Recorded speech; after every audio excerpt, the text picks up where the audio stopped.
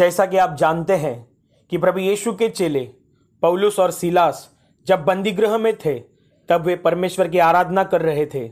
उसी दौरान बड़ा भूमिकंप हुआ। बंदीगृह की नींव हिल गई और उसके द्वार खुल गए। सबके बंधन टूट गए। देखा कितनी अद्भुत रीति से परमेश्वर ने उन्हें बंधनों से आज़ाद किया। आज भी आराधना की ये सामर्थ काम कर रही है। तो चलो, हम भी पवित्र शास्त्र में जैसे लिखा है वैसे डब बजाते और नाचते हुए उसकी स्तुति करे, ऊँचे शब्दावली झांझ बजाते हुए उसकी स्तुति करें।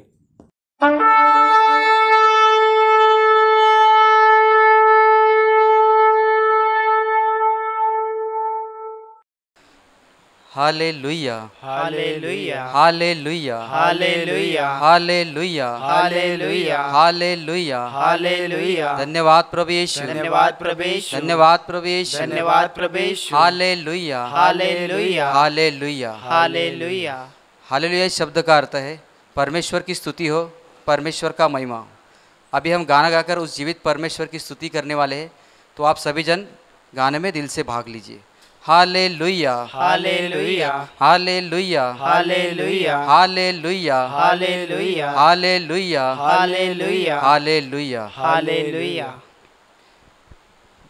पन्ना नंबर एक गाना नंबर एक आज का दिन पन्ना नंबर एक गाना नंबर एक आज का दिन आज का दिन यहोवा ने बनाया है हम उसमें आनंदित हो आनंदित हो। आज का दिन यहोवा ने बनाया है हम उसमें आनंदित हो आनंदित हो। प्रभु को महिमा मिले, चाहे हो मेरा अपमान। महिमा मिले। चाहे हो मेरा अपमान, वह बड़े मैं घटू। रहे उसी का ध्यान, वह बड़े मैं घटू। रहे उसी का ध्यान दिन यहोवा ने बनाया है। हम उसमें आनंदित हो आनंदित हो। आज का दिन यहोवा ने बनाया है। हम उसमें आनंदित हो आनंदित हो। स्तुति प्रशंसा करे। क्यों ना कुछ होता रहे? स्तुति प्रशंसा करे। क्यों ना कुछ होता रहे? उसको हम बाते रहे।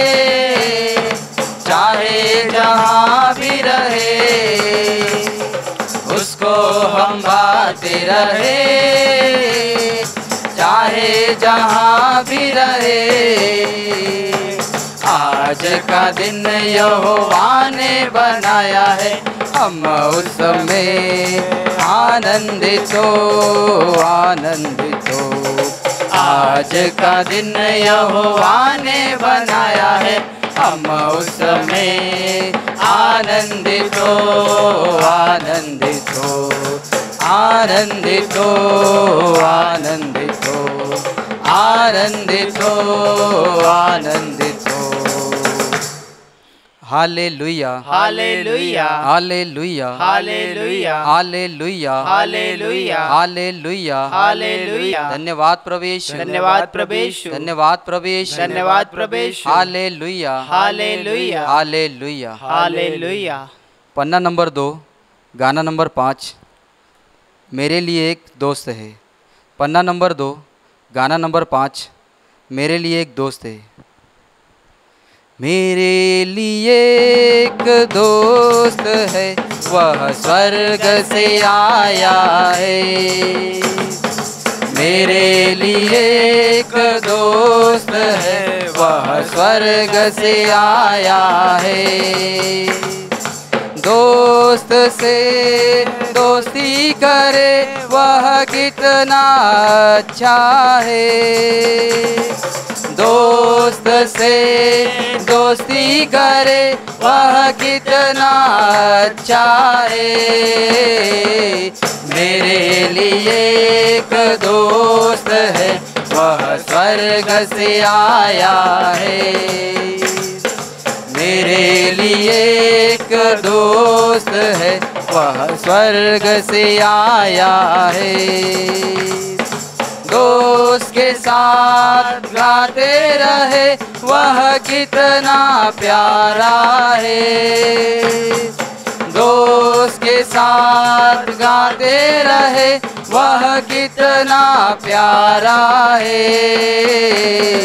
मेरे लिए एक दोस्त है, वह स्वर्ग से आया है।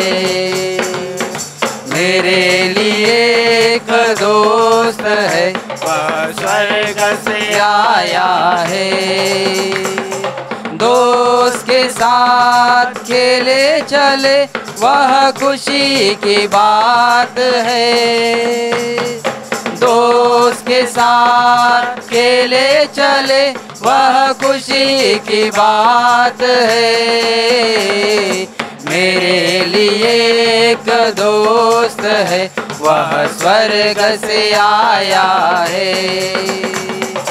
मेरे लिए एक है स्वर्ग से आया है। दोस्त ने हमें जीवन दिया वह जीवन की नात है। दोस्त ने हमें जीवन दिया वह जीवन का नात है। मेरे लिए एक दोस्त है, वह स्वर्ग से आया है। मेरे लिए एक दोस्त है, वह स्वर्ग से आया है। दोस्त पर ही विश्वास करे, वह विश्वास का पात्र है। दोस्त पर ही विश्वास करे, वह विश्वास का पात्र है। मेरे लिए एक दोस्त है, वह स्वर्ग से आया है। मेरे लिए एक दोस्त है, वह स्वर्ग से आया है। दोस्त ने हमें प्रवचन दिया वह जीवन की रक्षा है। दोस्त ने हमें प्रवचन दिया, वह जीवन की रक्षा है। मेरे लिए एक दोस्त है, वह स्वर्ग से आया है। मेरे लिए एक दोस्त है। वह स्वर्ग से आया है। वह स्वर्ग से आया है।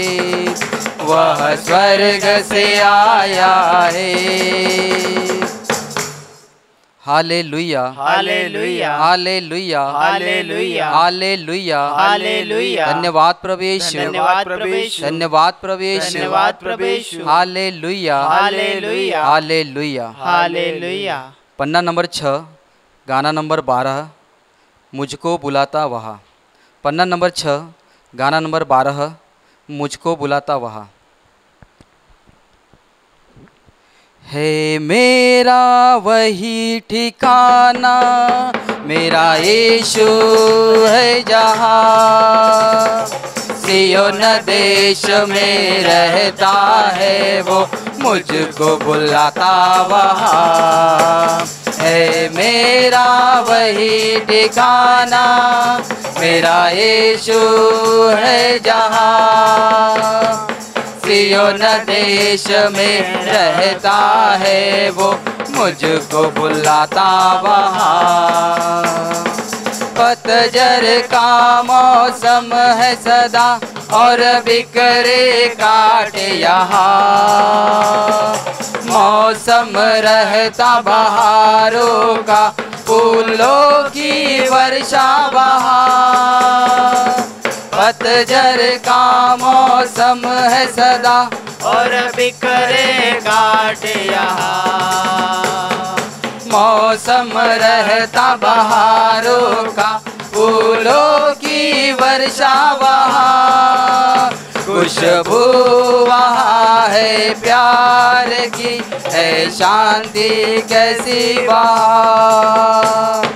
सियोन देश में रहता है वो मुझको बुलाता वहाँ। है मेरा वही ठिकाना, मेरा यीशु है जहाँ। सियोन देश में रहता है वो मुझको बुलाता वहाँ। सोने के सिंहासन पर मेरे प्रभु विराजे है। दाहिने हाथ पे उनके मेरे यीशु विराजे है। सोने के सिंहासन पर मेरे प्रभु विराजे है। दाहिने हाथ पे उनके मेरे यीशु विराजे है। स्वर्गदूतों और संतों की आवाज़ें है जहाँ। सियोन देश में रहता है वो, मुझको बुलाता वहाँ। है मेरा वही ठिकाना, मेरा यीशु है जहाँ। सियोन देश में रहता है वो मुझको बुलाता वहाँ। है मेरा वही ठिकाना, मेरा यीशु है जहाँ। सियोन देश में रहता है वो, मुझको बुलाता वहाँ। वो मुझको बुलाता वहाँ। वो मुझको बुलाता वहाँ। Hallelujah hallelujah hallelujah hallelujah hallelujah hallelujah धन्यवाद प्रभु यीशु धन्यवाद प्रभु यीशु धन्यवाद प्रभु यीशु धन्यवाद प्रभु Yeshu hallelujah hallelujah hallelujah hallelujah पन्ना नंबर आठ गाना नंबर अठारह तू मेरा परमात्मा। पन्ना नंबर आठ गाना नंबर अठारह तू मेरा परमात्मा। तू मेरा परमात्मा, तू मेरा दार गा उठी मेरी आत्मा, प्रणाम है प्रभु। तू मेरा परमात्मा, तू मेरा दार गा उठी मेरी आत्मा प्रणाम है प्रभु। परम पिता ने दी पवित्र रोटी तू। ज़िंदगी हमें दे अनंत रोटी तू। तू ही सर्वस्व है प्रभु, तू हमारे है। तेरे बिना सब बिना सहारे है। मेरा परमात्मा, तू मेरा गा उठी मेरी आत्मा, प्रणाम है प्रभु। भगवन अपना हमें बुलाता है। सब जग जन को गले लगाता है। प्रभु हर विपदा सदा मिटाता है। हमें सभी सुख वही दिलाता है। तू मेरा परमात्मा, तू मेरा दास परमात्मा प्रणाम है प्रभु। तू मेरा परमात्मा, तू मेरा गाउडी मेरी आत्मा, प्रणाम है प्रभु। प्रणाम है प्रभु। का नाम है प्रभु। हाले लुया हाले लुया हाले लुया हाले लुया हाले लुया हाले लुया धन्यवाद प्रवेश धन्यवाद प्रवेश धन्यवाद प्रवेश धन्यवाद प्रवेश हाले लुया हाले लुया हाले लुया हाले लुया पन्ना नंबर ग्यारह गाना नंबर पच्चीस आवाज़ उठाएँगे। पन्ना नंबर ग्यारह गाना नंबर पच्चीस, आवाज़ उठाएँगे। आवाज़ उठाएँगे, हम साथ बजाएँगे। ये यीशु महान अपना, ये ये सुनाएँगे। आवाज़ उठाएँगे, हम साथ बजाएँगे। ये यीशु महान अपना। ये गे सुनाएँगे संसार की सुंदरता में ये रूप जो तेरा है, इन चाँद सितारों में ये आकाश भी तेरा है। महिमा की तेरी बातें हम सबको बताएँगे, ये यीशु महान अपना। ये गे सुनाएँगे, आवाज़ उठाएँगे, हम साथ बजाएँगे। ये यीशु महान अपना। ये गे सुनाएँगे दिल तेरा खजाना है, एक पाक मोहब्बत का। यह पा न सका कोई, सागर है तू उल्फत का। हम तेरी मोहब्बत से दिल अपने सजाएँगे। ये यीशु महान अपना। ये गीत सुनाएँगे, आवाज़ उठाएँगे, हम साथ बजाएँगे। ये यीशु महान अपना ये गीत सुनाएँगे, आवाज़ उठाएँगे। हम साथ बजाएँगे। ये यीशु महान अपना। ये गीत सुनाएँगे। ये गीत सुनाएँगे।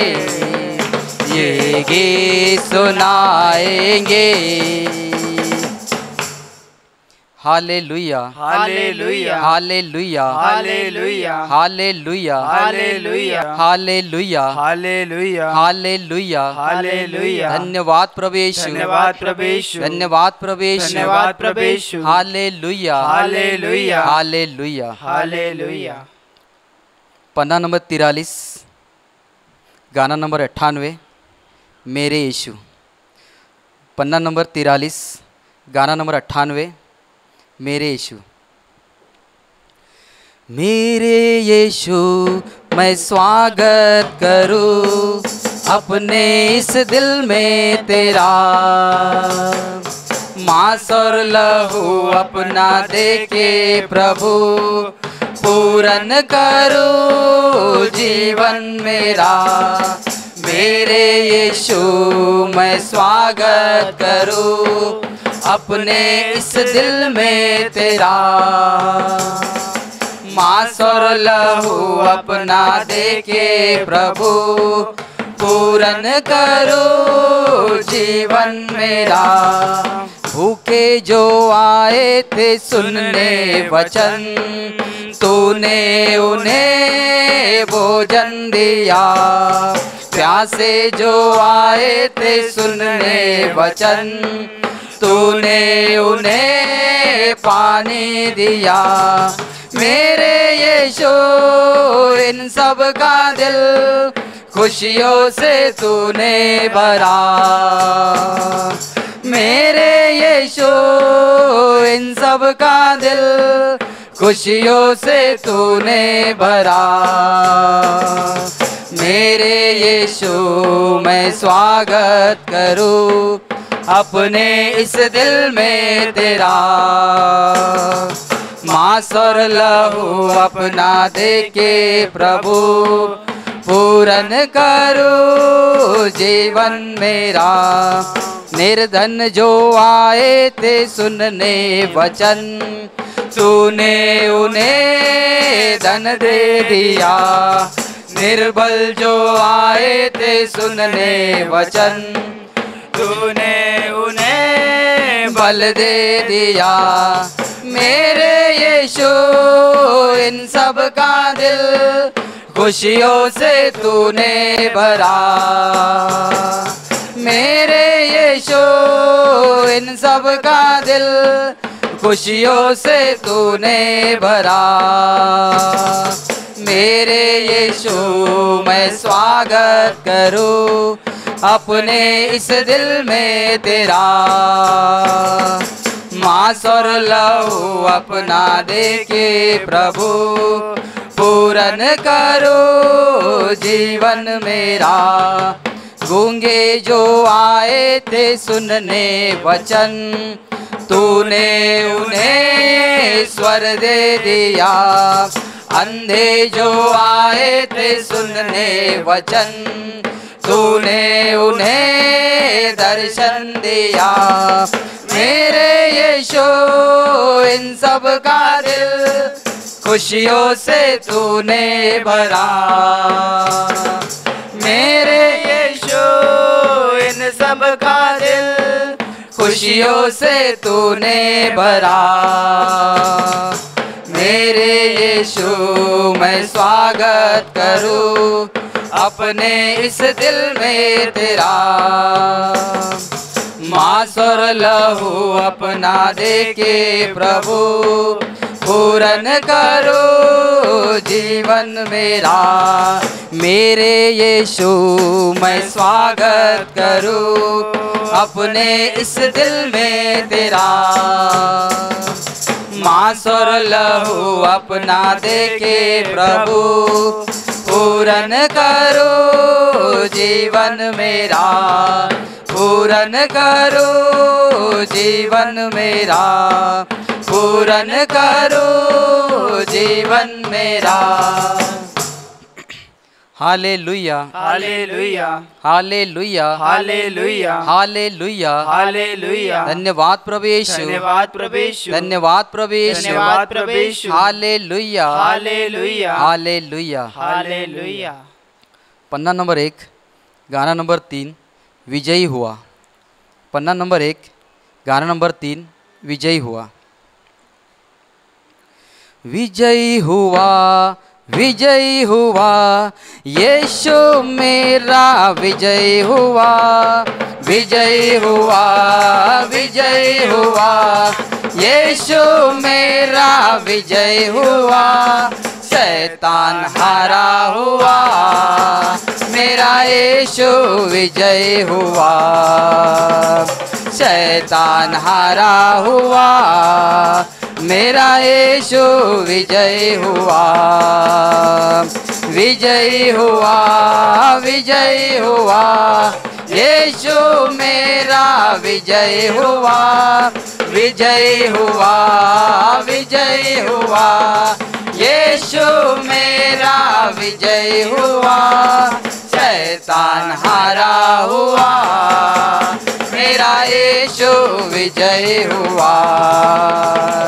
शैतान हारा हुआ, मेरा यीशु विजय हुआ।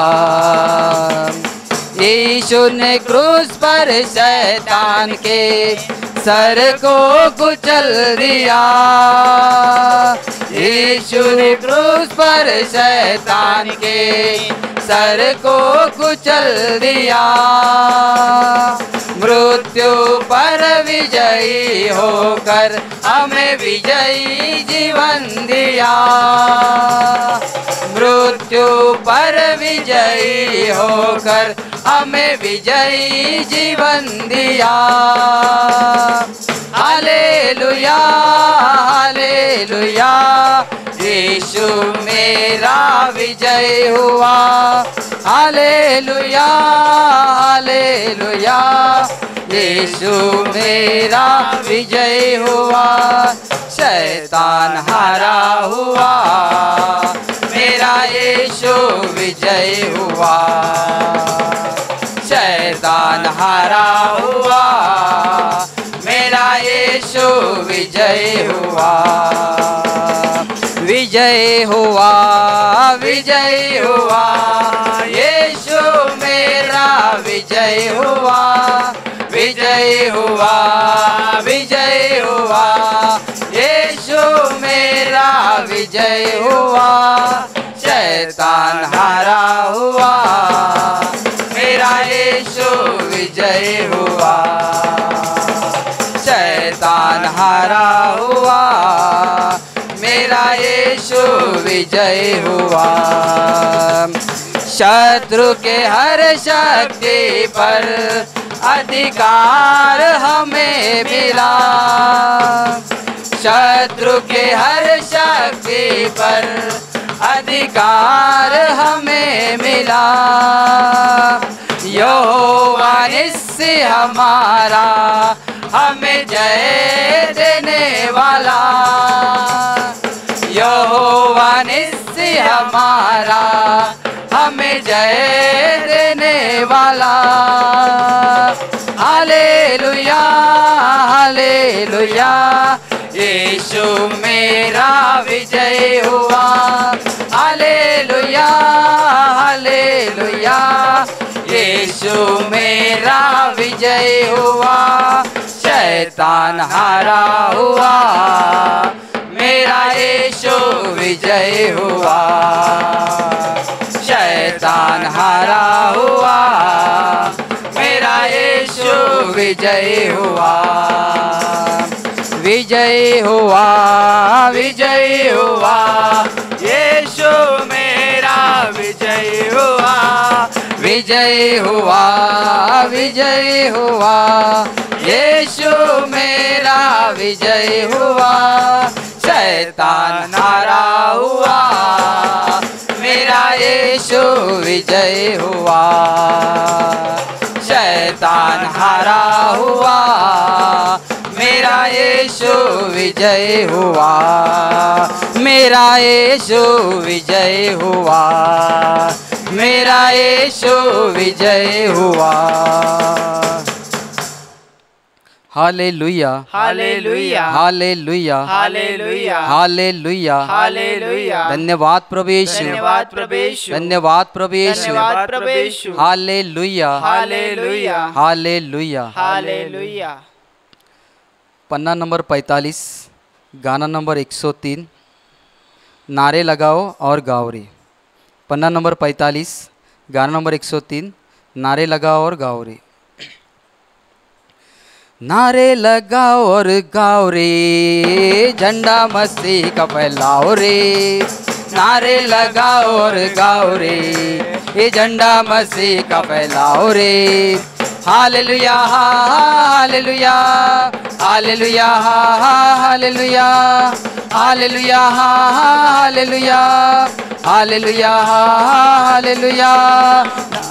सुलझा हुआ राही रे।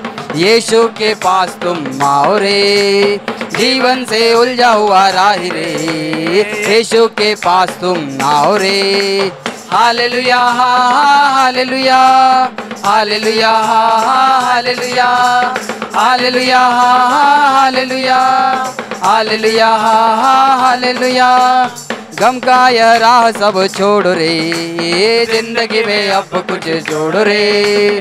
गम का यह राह सब छोड़ रे ज़िंदगी में अब कुछ जोड़ रे। Hallelujah hallelujah hallelujah hallelujah hallelujah hallelujah hallelujah hallelujah. Yeshu का मृत्यु हुआ है पापों का अंत हुआ है। यीशु का मृत्यु हुआ है, ये पापों का अंत हुआ है।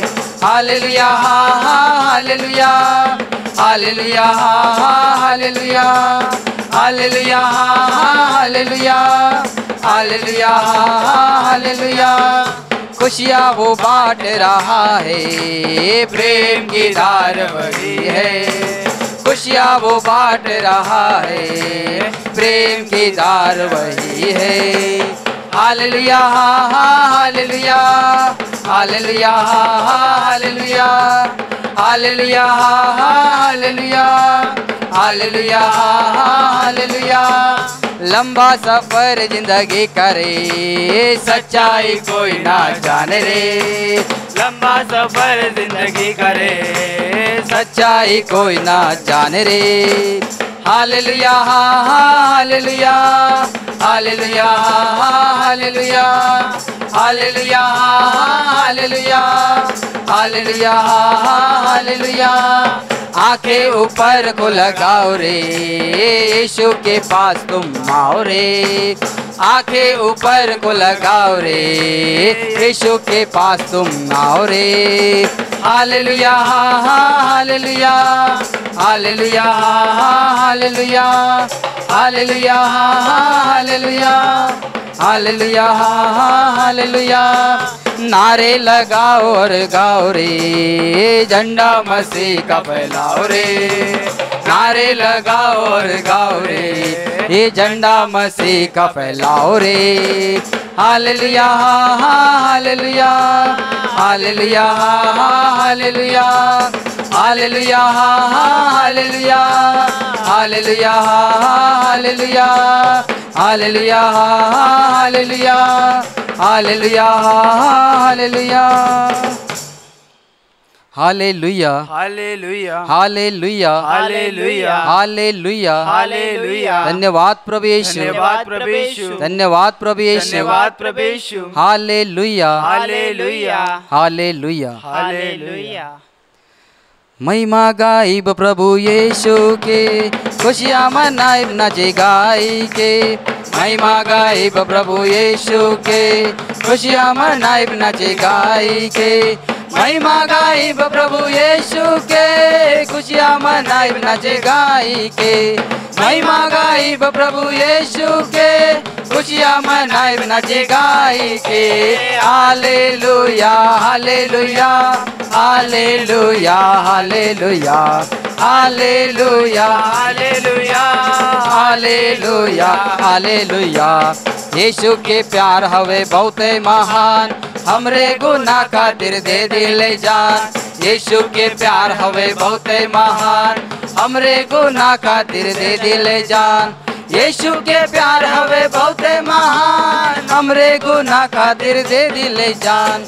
यीशु के प्यार हवे बहुते महान। हमरे गुनाह खातिर दे दिले जान। Hallelujah hallelujah hallelujah hallelujah.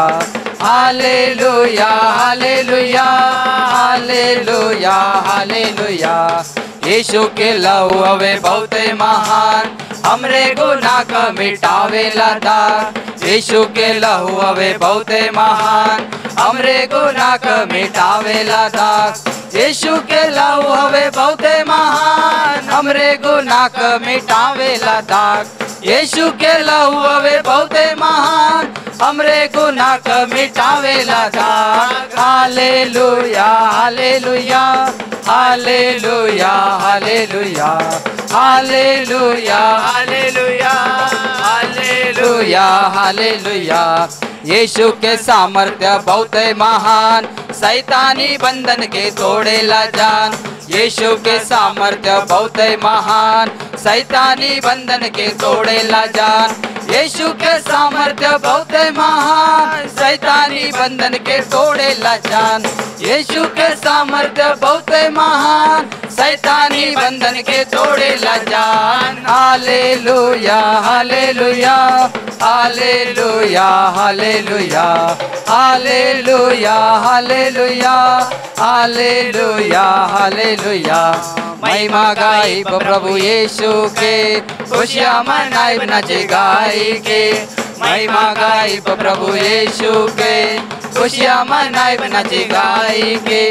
महिमा गाइब प्रभु यीशु के, खुशियाँ मनाइब नचे गाई के।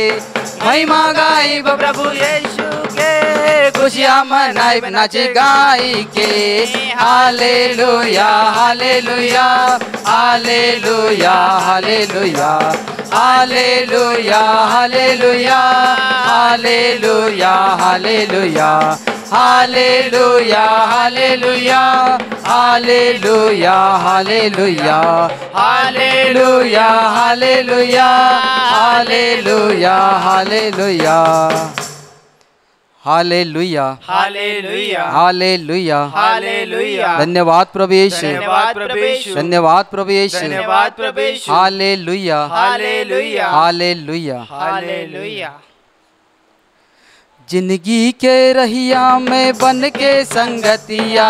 प्रभु यीशु हवे हमरा संग संग। ज़िंदगी के रहिया में बन के संगतिया। प्रभु यीशु हवे, हमरा संग संग। ऊ हमें चलावे, उहे हमें राके हमरे घर जिया के उहे पूरा करे।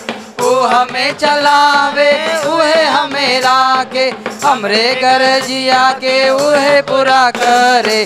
ज़िंदगी के रहिया में बन के संगतिया। प्रभु यीशु, हवे हमरा संग संग ज़िंदगी के रहिया में बन के संगतिया। प्रभु यीशु, हवे हमरा संग संग भारी विपतिया में जी घबराए कभी प्रभु यीशु कोरा में उठावे। भारी विपतिया में जी घबराए, तभी प्रभु यीशु कोरा में उठावे। ज़िंदगी के रहिया में बन के संगतिया, प्रभु यीशु आवे, हमरा संग संग। ज़िंदगी के रहिया में बन के संगतिया। प्रभु यीशु हवे हमरा संग संग। हमरा के कौनो भय अब नहीं के। जीवन के प्रभु यीशु हवे संग संग। हमरा के कौनो भय अब नहीं के। जीवन के प्रभु यीशु हवे संग संग। ज़िंदगी के रहिया में बन के संगतिया। प्रभु यीशु, हवे हमरा संग संग। ज़िंदगी के रहिया में बन के संगतिया। प्रभु यीशु, हवे हमरा संग संग। प्रभु यीशु, हवे हमरा संग संग। प्रभु यीशु, हवे हमरा संग संग। हालेलुया हालेलुया हालेलुया हालेलुया धन्यवाद प्रभु यीशु। धन्यवाद प्रभु यीशु। धन्यवाद प्रभु यीशु। धन्यवाद प्रभु Yeshu. Hallelujah hallelujah hallelujah hallelujah स्वर्ग चलली जाई हम लोगन।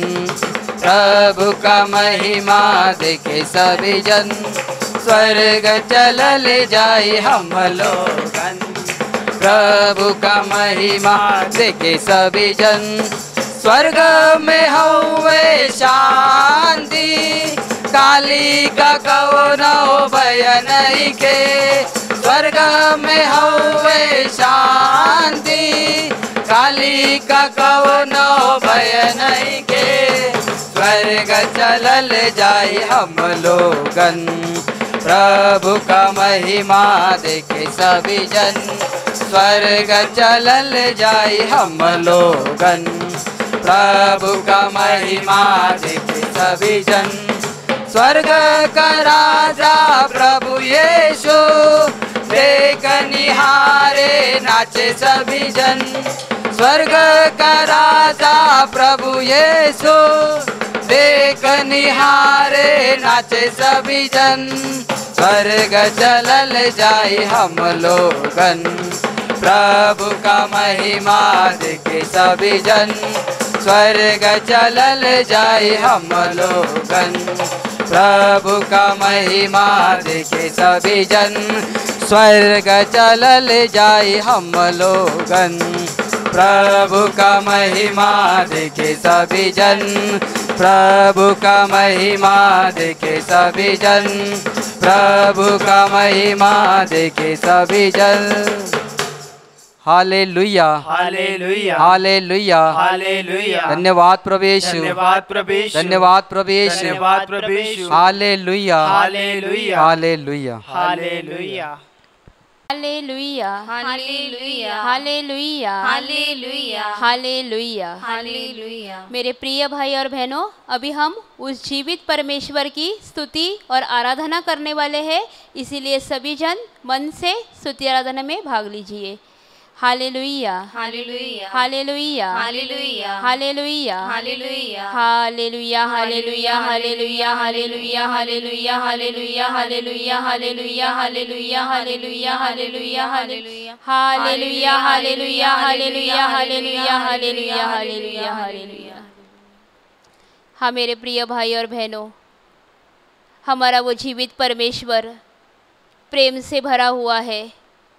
वो कितना सामर्थ्य से भरा हुआ है। देखिए वो हम सबसे कितना प्रेम करता है। आप इस क्षण कहीं पर भी हो लेकिन वो परमेश्वर हर एक मनुष्य के ऊपर प्रेम करता है। इसलिए हृदय से उसको धन्यवाद दो। उसके नाम की महिमा करो क्योंकि वो परमेश्वर भला है। वो परमेश्वर भला है और वो सचमुच भला है। वो हमें कभी भी भूलता नहीं है। वो हमें कभी त्यागता नहीं है तो वह हर क्षण हमारे साथ रहता है। इसलिए उसको धन्यवाद दो। उसके नाम की महिमा करो। उसके नाम को ऊँचा उठाओ। मेरा प्रभु मुझसे प्यार करता मेरा दिल उससे भर जाता। मेरा प्रभु मुझसे प्यार करता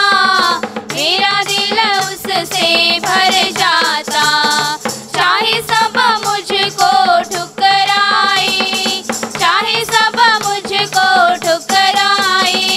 मेरा प्रभु मुझसे प्यार करता। मेरा दिल उससे भर जाता। मेरा प्रभु मुझसे प्यार करता।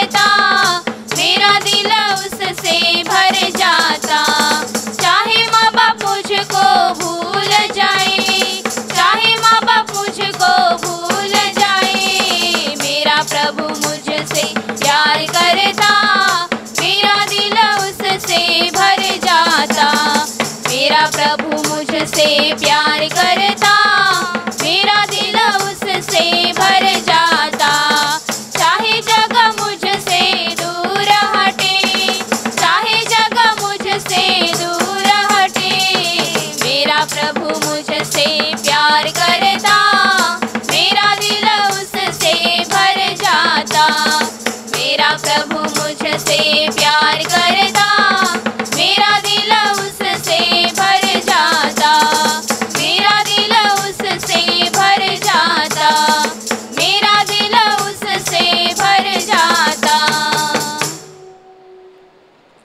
देखिए उस परमेश्वर ने मनुष्य जाति को निर्माण करने से पहले इस सुंदर सृष्टि की रचना की। धन्यवाद। देखिए उस परमेश्वर ने सब कुछ कितना सुंदर बनाया है। उसने सुंदर पहाड़ बनाए हैं पेड़ पौधे बनाए हैं उसने इस आकाश और पृथ्वी को बनाया है। धन्यवाद। इसके लिए हृदय से उसकी प्रशंसा करो। धन्यवाद। देखो हमें लगने वाली हर एक ज़रूरत उस परमेश्वर ने इस सृष्टि के द्वारा हमें दी है। वह हमें अच्छे फल देता है। वह हमारी ज़रूरत पूरा करता है। वह हमें सब्ज़ियाँ देता है और वही परमेश्वर इस भूमि से अनाज को उगाता है। हाँ देखो उस परमेश्वर ने हमें इस पृथ्वी पर लाकर वो हमें भूल नहीं गया। उसने हमें छोड़ नहीं दिया।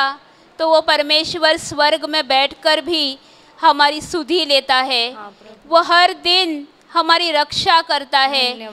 प्रतिदिन वही हमें जीवित रखता है। हाँ इसलिए हृदय से उसको धन्यवाद दो। देखो उसने हमें कितना अच्छा शरीर दिया है। इस शरीर के बदले उस परमेश्वर को धन्यवाद दो। और इस क्षण तक उसने उसकी सांस हमें शुरू रखी है। हाँ इसलिए उसकी स्तुति करो। देखो उस परमेश्वर ने हमें काम करने के लिए अच्छे हाथ पैर दिए हैं और वही प्रभु इस शरीर में ताकत भी देता है। इसलिए हृदय से उसको धन्यवाद दो। उसकी महिमा करो क्योंकि सचमुच उस परमेश्वर ने हमें सब कुछ अच्छा दिया है। हाँ आज हमारे जीवन में जो भी कुछ है जो कुछ आशीषें है वो सब कुछ उस स्वर्ग से हमें मिली है। क्योंकि जब तक पिते पिता की ओर से कुछ आता नहीं मनुष्य को कुछ मिल नहीं सकता है। हाँ, इसके लिए आपके जीवन में अगर शांति है तो उस परमेश्वर का धन्यवाद करो। अगर आप आनंदित हो तो उसी परमेश्वर की महिमा करो। क्योंकि ये सब कुछ उस परमेश्वर का अनुग्रह है। उस परमेश्वर की देन है। हृदय से उसको ऊँचा उठाओ। हालेलुया। हालेलुया। हालेलुया। हालेलुया। हे हमारे। हे हमारे। स्वर्गीय पिता। स्वर्गीय पिता। हम तुझे हम तुझे धन्यवाद देते हैं। धन्यवाद देते हैं। हम तेरी हम तेरी स्तुति करते स्तुति हैं करते हैं। तूने हमें तूने हमें ये सुंदर ये सुंदर जीवन दिया। जीवन दिया। इसलिए इसलिए हम तुझे हम तुझे महिमा देते हैं। महिमा देते हैं। इस क्षण तक क्षण तक तूने हमें तूने हमें संभाला है। संभाला है। सुरक्षित रखा है। सुरक्षित रखा है। इसलिए इसलिए हम तेरे हम तेरे नाम को नाम को ऊँचा उठाते हैं। उठाते हैं। हाले लुइया हाले लुइया हाले लुइया हाले लुइया हाले लुइया हालेलुया। हालेलुया। पहले तो ये दुनिया रची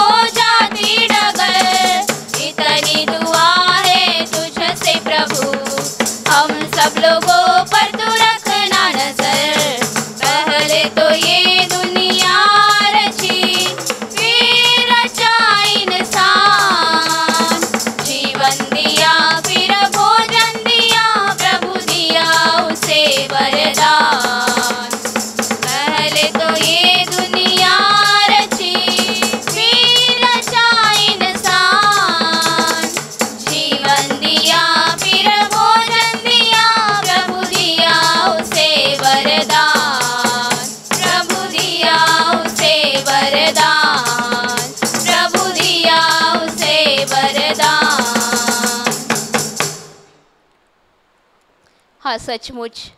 वो परमेश्वर हमसे सच्चा प्रेम करता है। इसलिए तो उसने हमें बचाने के लिए अपने इकलौते पुत्र यीशु मसीह को इस धरती पर भेज दिया। धन्यवाद। देखिए उस परमेश्वर का महान प्रेम जो उसने हर एक मनुष्य जात के ऊपर किया है क्योंकि हम पाप में डूब चुके थे हम अंधकार में भटक गए थे हमें कोई राह नहीं थी कोई भी आशा नहीं थी। और हमारे पापों के कारण हम नष्ट होने वाले थे। हम उस अग्नि में जाकर गिरने वाले थे लेकिन उस स्वर्ग से परमेश्वर ने देखा और उसने हम पर बड़ा अनुग्रह किया और हमें बचा लिया। इसलिए उसे धन्यवाद दो। हम जो खो गए थे हम जो इस दुनिया में मशगूल हो गए थे उस परमेश्वर ने हमें ढूंढ कर निकाला उसने हमें आवाज़ देकर उसके राज्य के लिए बुलाया क्योंकि वह हमारा सच्चा चरवाह है जो हमारी सूदी लेता है। और उसी ने हमारे लिए क्रूस पर अपना बलिदान दिया है। उसका पवित्र लहू उसने इस भूमि पर गिराया ताकि मनुष्य जात शैतान के हाथ से बच जाए ताकि हमारे जीवन से दुख निकल जाए। और हम उस आशीष को पाए जो उस परमेश्वर ने स्वर्ग से हमारे हमारे लिए लाए हैं। देखो वो प्रभु यीशु मसीह, हमारे अपराधों के कारण उसने हर प्रकार की निंदा को सह लिया, उसने अपमान को सह लिया। वो तो स्वर्ग का राजा होकर भी हमारे लिए इस पृथ्वी पर पापी ऐसा गना गया। देखो वो प्रभु यीशु मसीह, सचमुच उसका प्रेम सबसे बड़ा है। उसने हमसे सच्चा प्रेम किया है। उसने हमें हमारे बीमारियों से चंगा किया। क्योंकि जो उनतालीस कोड़ों की मार उसके पीठ के ऊपर उसने खाई उसके द्वारा हमें चंगाई मिलती है। उसके द्वारा हमारी बीमारियों से हमें मुक्ति मिलती है। इसलिए धन्यवाद करो उस यीशु मसीह का। धन्यवाद करो उसका। और अपना मुँह खोलकर उसे कहो हाँ प्रभु तूने मुझे बचाया है। तूने मुझे बचाया है। तूने मुझे नया जीवन दिया है। मैं तेरा धन्यवाद करता हूँ। मैं हृदय से तेरा धन्यवाद करता हूँ। मैं हृदय से तेरा धन्यवाद करता हूँ। हालेलुया हालेलुया हालेलुया हालेलुया हे प्रभु यीशु हे प्रभु यीशु हम तुझे हम तुझे धन्यवाद देते धन्यवाद हैं देते हैं। हम तेरी हम तेरी महिमा करते महिमा हैं करते हैं। तू ही हमारा तू ही हमारा सच्चा सच्चा सहारा है। सहारा है। तू ही हमारा तू ही हमारा मार्ग है। मार्ग है। तू ही सत्य तू है। ही सत्य है तू ही। जीवन ही। है जीवन है। हम दिल से हम दिल से तेरी महिमा करते हैं। महिमा करते तेरे नाम को तेरे नाम को ऊँचा उठाते हैं। ऊँचा हैं। हाले लुइया हाले लुइया हाले लुइया हालेलुया। हालेलुया। हमें प्रभु ने प्रेम दिया हमें बचा लिया।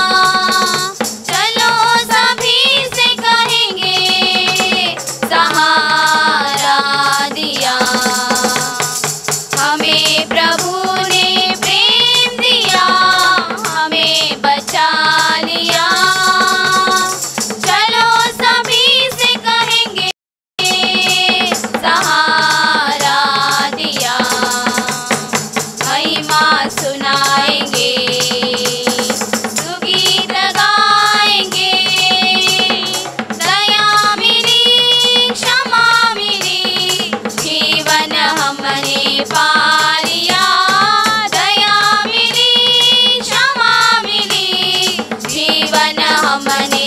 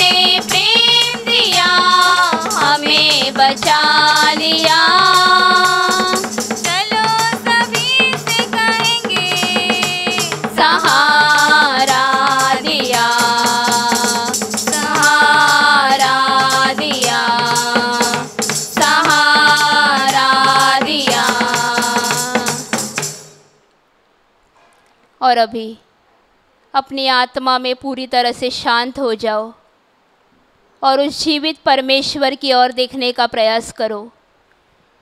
देखो वह हमारा पिता हमारा सच्चा परमेश्वर जो सामर्थ से भरा हुआ है जो वैभव से भरा हुआ है जिसके शब्द में सामर्थ्य है वो परमेश्वर स्वर्ग में विराजमान है।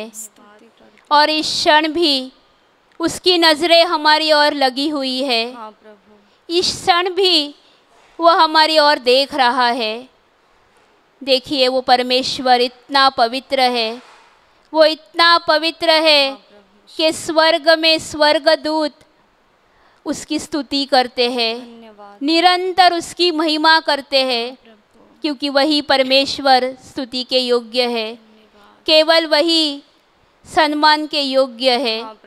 इसके लिए हृदय से उसकी आराधना कीजिए।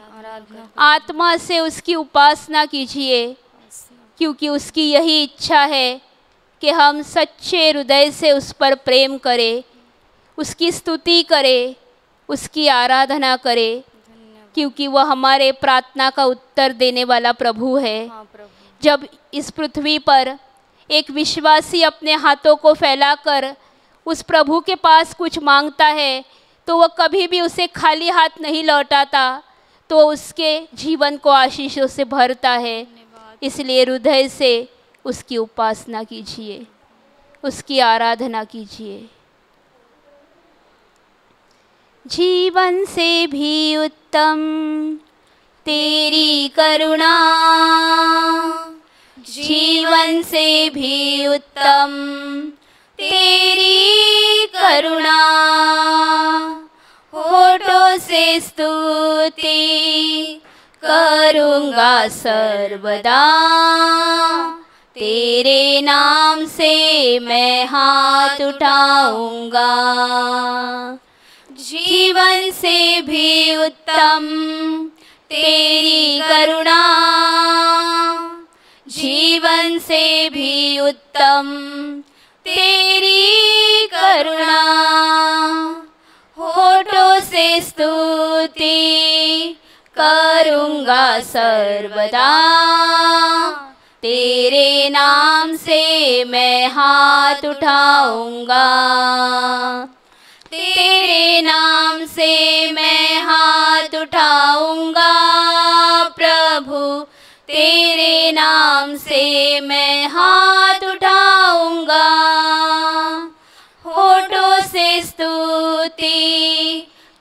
करूँगा सर्वदा। तेरे नाम से मैं हाथ उठाऊँगा। तेरे नाम से मैं हाथ उठाऊँगा, प्रभु। तेरे नाम से मैं हाथ उठाऊँगा। होठों से स्तुति करूँगा सर्वदा। तेरे नाम से मैं हाथ उठाऊँगा। तेरे नाम से मैं हाथ उठाऊँगा। तेरे नाम से मैं हाथ उठाऊँगा। हाँ मेरे प्रिय भाई और बहनों वो हमारा प्रभु, हमारे पापों के लिए उस क्रूस पर मर तो गया। लेकिन मृत्यु उसके ऊपर सत्ता न चला पाई। तो वो शैतान को हरा कर तीसरे दिन मृत्यु से जी उठा और वो आज भी स्वर्ग में जीवित है। और उसने अपने चेलों को वचन दिया था कि मैं तुझे सत्य का कई कैवारी आत्मा दूँगा और सचमुच उस प्रभु ने हमें अनाथ नहीं छोड़ा। तो उसने हमें अपनी सत्य की आत्मा दे रखी है इसलिए खोलिए अपने हृदय को। और बुलाए उस पवित्र आत्मा को अपने हृदय में। आ रहा है वो पवित्र आत्मा। स्वीकार कीजिए उस पवित्र आत्मा का। आ पवित्र आत्मा। आ पवित्र आत्मा। तेरे सामर्थ्य से हमें भर दे। तेरे प्रेम से हमें भर दे। तेरा अनुग्रह लेकर आ। तेरी दया लेकर आ। तेरी शांति और आनंद से हमें भर दे। आ पवित्र आत्मा। आ पवित्र आत्मा। आ पवित्र आत्मा। पावन आत्मा अंतरयामी पावन आत्मा अंतरयामी बरसा दो अपनी दया अपनी दया अपनी दया। बरसा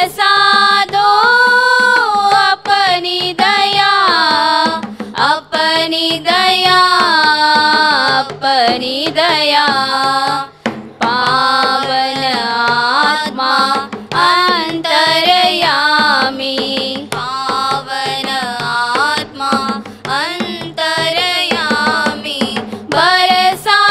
दो अपनी कृपा अपनी कृपा अपनी कृपा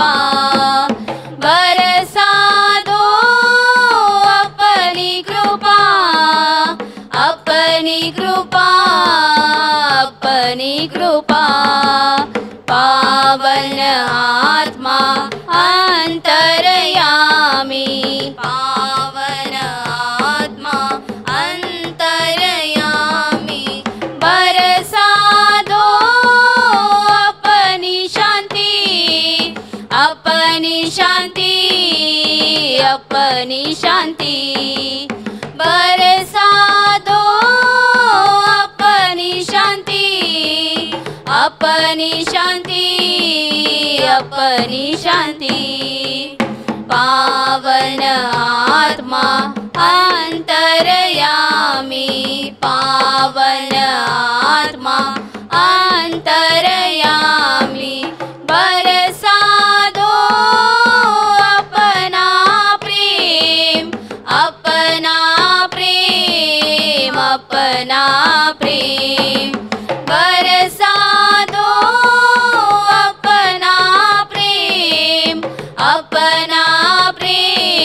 प्रेम अपना प्रेम पावन आत्मा।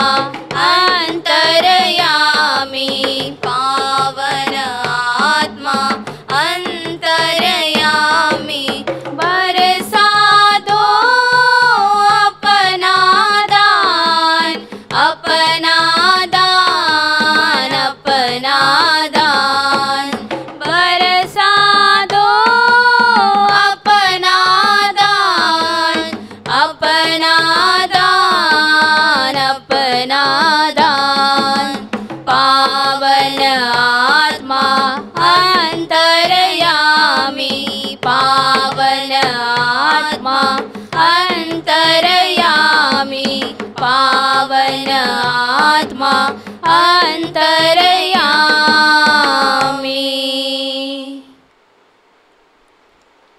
स्तुति आराधना खत्म हुई।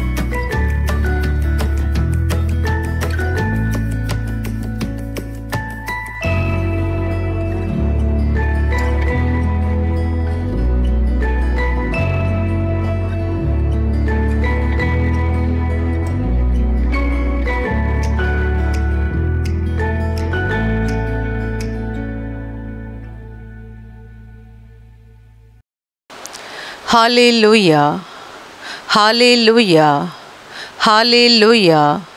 धन्यवाद प्रभु यीशु, धन्यवाद प्रभु यीशु, धन्यवाद प्रभु यीशु। Hallelujah hallelujah hallelujah. मेरे प्यारे भाइयों और बहनों, अभी हम परमेश्वर का वचन सुनने जा रहे हैं। यदि आपके पास बाइबिल होगा तो उसे खोल दीजिए। प्रेरित पौलुस की कुलुसियों के नाम पत्री अध्याय तीन, वचन सोलह। प्रेरित पौलुस की कुलुसियों के नाम पत्री अध्याय तीन, वचन सोलह। मैं पढ़ रही हूँ, ध्यान देकर सुनो। मसीह के वचन को अपने हृदय में अधिकाई से बसने दो। Hallelujah hallelujah hallelujah hallelujah.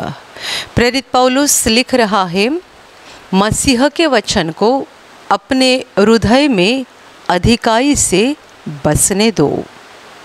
मेरे प्यारे भाइयों और बहनों, यह सलाह प्रेरित पौलुस हर विश्वासी मनुष्य को दे रहा है। जितनों ने प्रभु यीशु पर विश्वास किया है, यीशु को अपना प्रभु और मुक्तिदाता के रूप में ग्रहण किया है और जो विश्वास का जीवन जीना चाहते हैं उन सबों के लिए ये महत्वपूर्ण सलाह पौलुस दे रहा है कि मसीह के वचन को अपने हृदय में अधिकाई से बसने दो। मसीह के वचन, अर्थात परमेश्वर के वचन। मसीह के वचन, अर्थात परमेश्वर के शब्द, हमारे दिल में अधिकाई से, यानी भरपूरी से बसे रहना ज़रूरी बात है। हाले लोहिया हालेलुया। हालेलुया। क्योंकि परमेश्वर का वचन, परमेश्वर के सारे शब्द, ये हमारे जीवन की सच्ची नींव है। और जितनों ने इस नींव पर अपने जीवन को खड़ा कर दिया है जितनों ने परमेश्वर के वचनों के ऊपर अपने जीवन को खड़ा कर दिया है, उनका जीवन मजबूती से बने रहता है। उनका जीवन हिलता नहीं है। उनका जीवन गिरता नहीं है और उनका, उनके जीवन का विनाश नहीं होता है। मेरे प्यारे भाइयों और बहनों, और इसीलिए हर विश्वासी को ये ज़रूरी बात है कि उन्होंने अपने दिल में मसीह के वचन को, अर्थात परमेश्वर के शब्द को अधिक रूप से, भरपूरी से, अधिकाई से भरे हुए रखना ज़रूरी बात है। हाले लोहिया हाले लोहिया मेरे प्यारे भाइयों और बहनों, दुनिया के शब्द और परमेश्वर के शब्द इनमें बहुत बड़ा अंतर है। दुनिया के शब्द हमें जो भी बताते हैं और जैसा भी कहते हैं, बिल्कुल उसके विपरीत परमेश्वर के शब्द हमें कहते हैं। जब हम दुनिया में थे, अंधकार के लोग थे और शैतान के इशारे के अनुसार चलते थे, तब दुनिया की बातों को अपने अंदर भर के रखा था और उन्हीं के अनुसार हमारा जीवन चल रहा था। इसीलिए तो हम अशांत थे, गिरते जा रहे थे, परेशान हो चुके थे। प्रभु यीशु के पास आने के बाद हमें ज़रूरी है कि हम इन दुनिया की बातों को अपने दिल से निकाल दें, दुनिया के सारे शब्दों को अपने दिल से निकाल दें और वहाँ परमेश्वर के वचनों को रखें। वहाँ मसीह के वचनों को, मसीह के शब्दों को रखें, क्योंकि जैसा कि बाइबल हमें सिखाती है कि परमेश्वर का वचन, ये हमारे जीवन का नींव है। और जितनों ने इस नींव के ऊपर अपने जीवन को खड़ा कर दिया है, उनका कभी भी विनाश नहीं हो जाएगा। हाले लोहिया हाले लोहिया हाले लोहिया हालेलुया। परमेश्वर के वचन, परमेश्वर के शब्द हमारे लिए कितने महत्वपूर्ण है, कितने ज़रूरी है, ये बाइबल में हम कई बार पढ़ते हैं। और इसीलिए यहाँ पौलुस लिख रहा है कि उन वचनों को अपने अंदर अधिकाई से भरे हुए रखो। मेरे प्यारे भाई और बहनों, प्रभु यीशु ने जो उदाहरण दिया था कि एक घर जो बालू के ऊपर बन गया है और एक घर जो पत्थर के ऊपर बन गया है, उनमें से जो बालू के ऊपर घर बन गया है, वो संकट आने पर, विपत्ति आने पर गिरकर विनाश होता है। पर जो घर पत्थर के ऊपर खड़ा हो गया है, वो किसी भी संकट से या किसी भी विपत्ति से गिर नहीं जाता है और उसका विनाश नहीं होता है। ये उदाहरण प्रभु ने उसके वचनों के बारे में ही कहा है। हमारा जीवन परमेश्वर के वचनों के ऊपर खड़ा होना ज़रूरी बात है। पर मेरे प्यारे भाइयों और बहनों, बहुत सारे लोगों के साथ ऐसा होता है कि जब वे प्रभु यीशु के पास आते हैं और परमेश्वर के राज्य में अपना सफ़र शुरू कर देते हैं, तब उनका ध्यान परमेश्वर के वचनों के ऊपर ज़्यादा नहीं लगता है, बल्कि परमेश्वर के सामर्थ्य के ऊपर ज़्यादा ध्यान लगे रहता है। परमेश्वर के राज्य में दो बातें हैं। उसके वचन है और उसका सामर्थ्य है। जब प्रभु यीशु धरती पर मनुष्य रूप में था, उसने इन दोनों बातों को दुनिया के सामने पेश किया था। उसने परमेश्वर के वचन लोगों को बताए थे और परमेश्वर का सामर्थ्य भी लोगों को दिखाया था। वो जहाँ कहीं जाता था, किसी भी नगर में किसी भी गाँव में, किसी भी आराधनालय में, जहाँ कहीं प्रभु जाता था, हमेशा वो दोनों बातें लोगों के सामने पेश करता था। पहले वो लोगों को उपदेश देता था, अर्थात वचन सुनाता था। परमेश्वर की बातें बताता था, परमेश्वर के राज्य का सुसमाचार बताता था, और दूसरी बात वो करता था कि वो लोगों को चंगाई देता था।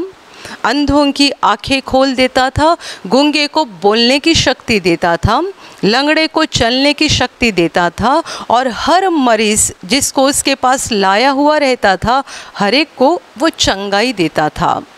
वो एक तरफ़ से परमेश्वर के वचनों को, लोगों को बताता था और दूसरी तरफ़ से अपना प्रेम और सामर्थ्य दिखाकर लोगों को अच्छा करता था, उनकी बीमारियों को निकाल देता था परेशानियों को निकाल देता था और उनके आंसुओं को निकाल देता था। मेरे प्यारे भाइयों और बहनों, तब से लेकर आज के दिन तक परमेश्वर के राज्य में ये दोनों भी बातें चल रही है। परमेश्वर के वचन भी हमारे लिए उपलब्ध है और परमेश्वर का सामर्थ्य भी हमारे लिए उपलब्ध है। पर जब लोग प्रभु यीशु के पास आते हैं, उसको पहचानते हैं और उस पर विश्वास करना शुरू कर देते हैं। तब वे वचनों के ऊपर नज़रअंदाज कर देते हैं और पूरा अपना ध्यान सामर्थ्य के ऊपर लगा के रखते हैं। परमेश्वर की बातें, उसके शब्द, उसके वचन हमारे लिए, हमारे जीवन के लिए, हमारी आत्मा के लिए कितने महत्वपूर्ण है। ये वो जानते नहीं है और वचनों के ऊपर बिल्कुल नज़रअंदाज करके वे बस सामर्थ की ओर देखते रहते हैं। उनके दिल में सामर्थ की अभिलाषा रहती है। वे अपने जीवन में परमेश्वर का सामर्थ देखना चाहते हैं और कई सारे लोग अपने जीवन में परमेश्वर का सामर्थ का अनुभव करना चाहते हैं, दूसरों को अनुभव दिलाना भी चाहते हैं। यानी वो खुद सामर्थ्य को पाना भी चाहते हैं। सामर्थ्य के ऊपर अपना ध्यान लगा के रखना और सामर्थ्य की अभिलाषा रखना, ये गलत बात नहीं है। पर मेरे प्यारे भाई और बहनों, ये समझ लेना कि परमेश्वर के वचन और उसके शब्द भी उतने ही ज़रूरी है जितने कि आप सामर्थ को ज़्यादा ज़रूरी समझते हैं। लोग सामर्थ्य के ऊपर अपना मन लगाते हैं और बड़ा सामर्थ बड़ा सामर्थ, बड़ा सामर्थ्य के खोज में लगे रहते हैं और वचन को बिल्कुल नज़रअंदाज कर देते हैं। पर आप अच्छे से बाइबल को पढ़ेंगे तो आप जान जाएँगे कि परमेश्वर के वचन हमारे लिए कितने ज़रूरी है। कितने महत्वपूर्ण है। यदि हम अपने आत्मिक जीवन को मज़बूत बनाना चाहते हैं, यदि हम चाहते हैं कि शैतान का कितना भी बड़ा हमला हमारे ऊपर हो जाए, पर हम ना गिरे, ना विनाश हो जाए, ऐसा आप चाहते हैं तो आपको ज़रूरी है कि आपने अपने जीवन को परमेश्वर के वचनों के ऊपर खड़ा करना चाहिए। हम बाइबल में पढ़ते हैं, जब प्रभु यीशु मसीह चालीस दिन जंगल में था अकेला उपवास कर रहा था। उस समय शैतान ने उसकी आकर परीक्षा ली थी और उस परीक्षा में शैतान यीशु के साथ बातें कर रहा था, परमेश्वर के वचनों के द्वारा बातें कर रहा था और प्रभु यीशु भी वचनों के द्वारा उसको जवाब दे रहा था। शैतान ने प्रभु को कहा था कि यदि तू परमेश्वर का पुत्र है तो इस पत्थर की रोटी बनाकर खा ले। क्योंकि प्रभु ने चालीस दिन तक कुछ नहीं खाया था और वो भूख के कारण व्याकुल बन चुका था और बिल्कुल उसी घड़ी शैतान उसके पास आ गया। ये तो शैतान का काम करने का तरीका है कि जब हम बहुत दुर्बल होते हैं, बिल्कुल तब वो हमारे नज़दीक आता है। जब हम मज़बूत होते हैं या हम तंदुरुस्त होते हैं या हमारे दिल में बड़ी खुशी होती है, तब वो हमारे नज़दीक आने के लिए डर जाता है। पर जब हम दुर्बल बन जाते हैं, आत्मा में दुर्बल बनते हैं या शरीर में दुर्बल बनते हैं, तब बिल्कुल उसी समय मौका उठाकर वो हमारे पास आता है। क्योंकि वो जानता है कि अब ये दुर्बल है तो मैं बड़े आसानी से उसके ऊपर हमला कर सकता हूँ। प्रभु शरीर रूप में धरती पर था और एक इंसान की तरह वो सारी यातनाओं को और सारे कष्ट और दुख को अपने शरीर में महसूस कर रहा था। चालीस दिन तक उसने कुछ नहीं खाया था और इसलिए भूख के कारण वो व्याकुल हो गया था और उसी घड़ी शैतान उसके पास आकर उसके, उसको बोल रहा है कि यदि तू परमेश्वर का पुत्र है तो इस पत्थर की रोटी बनाकर खा लेना। तभी प्रभु यीशु ने उसको जवाब दिया कि ऐसा लिखा गया है कि मनुष्य केवल रोटी से नहीं, बल्कि परमेश्वर के मुँह से निकले हुए हर शब्द से जीवित रहेगा। फिर शैतान ने दूसरा मौका ढूंढा और उसे ऊँची जगह पर वो लेके गया, मंदिर के सबसे ऊँची जगह पर।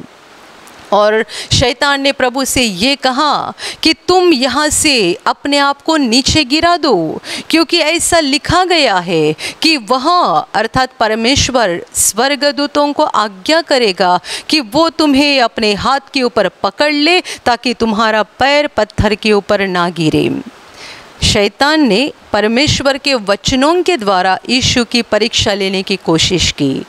तुम यहाँ से अपने आप को नीचे गिराओ, क्योंकि परमेश्वर का वचन कहता है कि तुम्हारा पैर पत्थर के ऊपर ना गिरे, इसलिए परमेश्वर उसके दिव्य दूत को आज्ञा देगा और उसके दिव्य दूत तुम्हें पकड़े रखेंगे।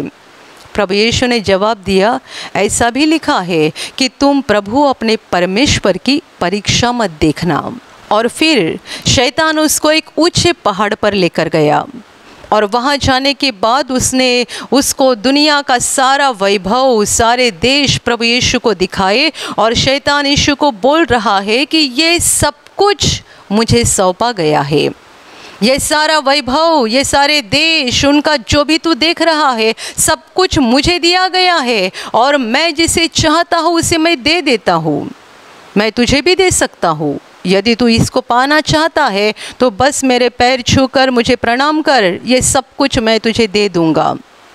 प्रभु यीशु ने जवाब दिया, हे शैतान, यहाँ से निकल जा, क्योंकि ऐसा लिखा गया है कि तू प्रभु अपने परमेश्वर को ही प्रणाम कर और उसकी ही उपासना कर। मेरे प्यारे भाई और बहनों, ये जो प्रभु की परीक्षा चल रही थी, उसमें कई बार शैतान परमेश्वर के वचनों में से बात कर रहा था। और प्रभु भी परमेश्वर के वचनों में से बात कर रहा था और आखिर शैतान प्रभु को छोड़कर निकल गया। यदि कोई चाहता है कि हमारे ऊपर कितनी भी विपत्ति आ जाए, शैतान हमारे ऊपर कितना भी बड़ा हमला करे, शैतान हमारा नुकसान करने की कितनी भी कोशिश करे तो भी हमें हिलना नहीं है।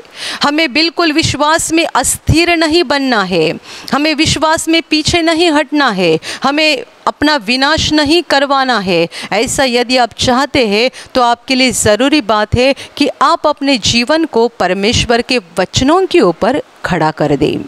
हाले लोहिया हाले लोहिया हाले लोहिया हाले लोहिया हाले लोहिया मेरे प्यारे भाइयों और बहनों, लोगों का ध्यान सामर्थ के ऊपर ज़्यादा रहता है, वचन के ऊपर कम रहता है, और कई सारे लोग वचन के ऊपर एकदम ही नज़रअंदाज कर देते हैं। नतीजा ये होता है कि उनका आत्मिक जीवन शुरू में दिखने में अच्छा दिखाई देता है पर जब विपत्ति की घड़ी आती है, संकट की घड़ी आती है, तब उनका विश्वास हिलना शुरू होता है। और यदि उन्होंने वचन के ऊपर बिल्कुल नज़रअंदाज कर दिया है तो उनका जीवन पूरी तरह से गिर जाता है। हालेलुया। हालेलुया। हालेलुया। विश्वासी लोग सामर्थ की खोज में है। और सामर्थ कहाँ है? सामर्थ ज़्यादा कहाँ देखने को मिलेगा? ये ढूंढ रहे हैं। वचन के ऊपर नज़रअंदाज कर रहे हैं। पर आप नहीं समझ रहे हैं कि आप अपने जीवन को किसके ऊपर खड़ा कर रहे हैं। ब्रदर हमेशा बताते थे कि परमेश्वर का वचन ये चावल के समान है और परमेश्वर का सामर्थ ये सब्ज़ी या मछली इसके समान है। सब्ज़ी और मछली ये चीज़ें हमारे ज़बान को स्वाद देती है, पर ताकत नहीं देती। ताकत देने का काम चावल करता है। परमेश्वर का वचन चावल के समान है, जो हमारे आत्मा को ताकत देता है। सामर्थ, ये सब्ज़ी और मछली के समान है, जो हमारी आत्मा को खुशी देता है और हमारी आत्मा को स्वाद देता है। आत्मा को खुशी और स्वाद की ज़रूरत है, पर उसके पहले उसे सामर्थ्य की, ताकत की और मज़बूत होने की ज़रूरत है। और ये मज़बूत बनाने का काम परमेश्वर का वचन करता है, परमेश्वर का शब्द करता है। और इसलिए जितने सारे लोग प्रभु यीशु पर विश्वास करके, विश्वास का सफ़र कर रहे हैं, उन सबों के लिए ज़रूरी बात है कि हम अपना बहुत ज़्यादा ध्यान परमेश्वर के वचनों के ऊपर लगाएँ। वचनों को पढ़े, उसको अपने अंदर बसने दे और वचन के अनुसार चलते रहे तो क्या हो जाएगा? हमारे आत्मिक जीवन की नींव बहुत मज़बूत बन जाएगी। हमारे आत्मिक जीवन की नींव बहुत अच्छे से डाली जाएगी, ताकि कितने भी शैतान के हमले हो गए तो भी हम गिरेंगे नहीं, हमारा नाश नहीं हो जाएगा और हम शैतान के हाथ में नहीं जाएँगे। हालेलुया हालेलुया हालेलुया आज आजकल कई सारे विश्वासी लोगों के साथ ऐसा होता है कि वे किसी भी एक कलिसिया में या किसी भी एक प्रार्थना घर में स्थिर नहीं रहते हैं। वे हमेशा ऐसा सोचते हैं कि इस प्रभु के सेवक के पास ज़्यादा सामर्थ है तो हमें उसके पास जाना चाहिए। उस प्रभु के दास के पास या दासी के पास ज़्यादा सामर्थ है तो हमें उनके पास जाना चाहिए। उनके पास जाते हैं, फिर उन्हें लगता है कि और कोई प्रभु का दास है, उनके पास और बड़ा सामर्थ है, फिर वहाँ जाते हैं। किसके पीछे भाग रहे हैं? सामर्थ के पीछे। क्या चाहते हैं और ज़्यादा सामर्थ देखना चाहते हैं? मेरी बीमारी निकल जानी चाहिए, मेरी परेशानी निकल जानी चाहिए, मेरे जीवन में ये चमत्कार होना चाहिए, वो चमत्कार होना चाहिए, मेरे जीवन में इतना बड़ा सामर्थ आना चाहिए। मेरे प्यारे भाइयों और बहनों, अच्छे से समझ लेना कि परमेश्वर के दास कितने भी बड़े क्यों ना हो, या उनके पास परमेश्वर का कितना भी बड़ा सामर्थ क्यों ना हो आपकी आत्मा कौन सी हालत में है, ये महत्वपूर्ण बात है। आपके आत्मा की हालत महत्वपूर्ण बात है। प्रभु का सेवक जो बहुत बड़े सामर्थ्य से भरा हुआ है, इसका मतलब उसके द्वारा आपके जीवन में बहुत बड़ा काम हो जाएगा और उसके द्वारा आपको बहुत बड़ा आत्मिक और शारीरिक लाभ हो जाएगा। ऐसा मत समझो, आपकी आत्मा कौन सी हालत में है आपकी आत्मा की स्थिति क्या है, ये महत्वपूर्ण है।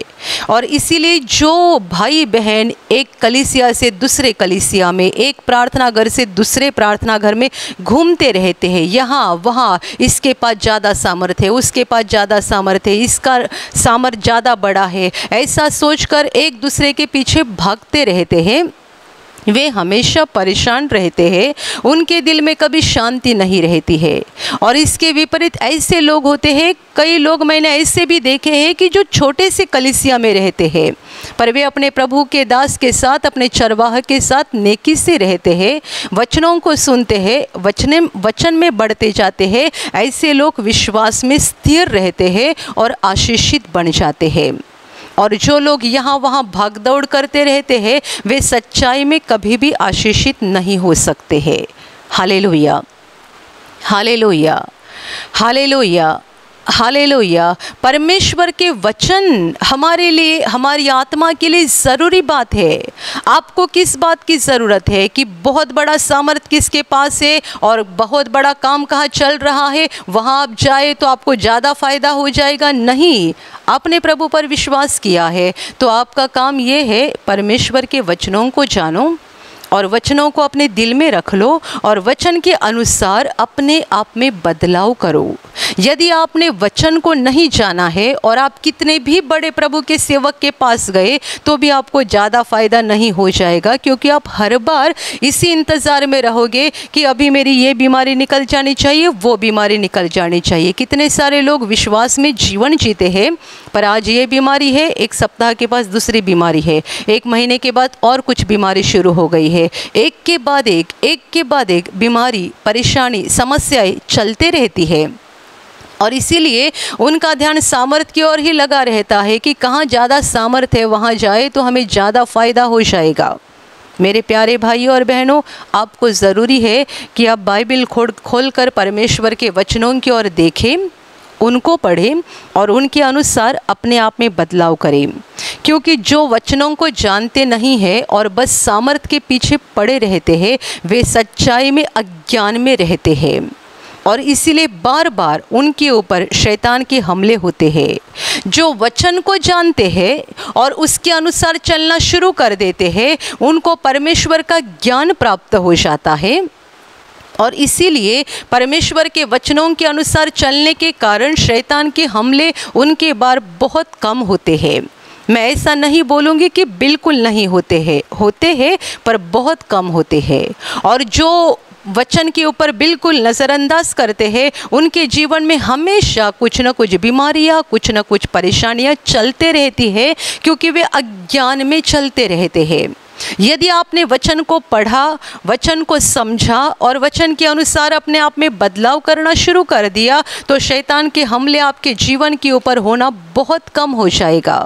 वचन के ऊपर नज़रअंदाज कर दिया और बस सामर्थ के पीछे दौड़ते रहे तो हमेशा कुछ ना कुछ परेशानी, कुछ ना कुछ समस्या आपके साथ चलती रहेगी, क्योंकि शैतान बार बार आपके ऊपर हमले करते जाएगा, क्योंकि आपने यीशु पर विश्वास तो किया है, पर आपने परमेश्वर के ज्ञान को नहीं प्राप्त किया है, बल्कि आप अज्ञान में चल रहे हैं। यदि बस सामर्थ महत्वपूर्ण होता तो प्रभु लोगों को चंगाई देने का ही काम करता। प्रभु ने लोगों को उपदेश क्यों दिया? उनको सिखाया क्यों? क्यों उनको परमेश्वर की बातें बताई? क्यों उनको स्वर्ग की बातें बताई? हम एक जगह में ऐसा पढ़ते हैं कि प्रभु यीशु किसी गाँव में, किसी नगर में गया था और वहाँ समुंदर से वो गया था, जैसे ही वो किनारे के ऊपर उतर गया, उसने देखा बहुत बड़ी भीड़ वहाँ पर थी, जो उसे ढूंढते ढूंढते वहाँ पर आ पहुँची थी।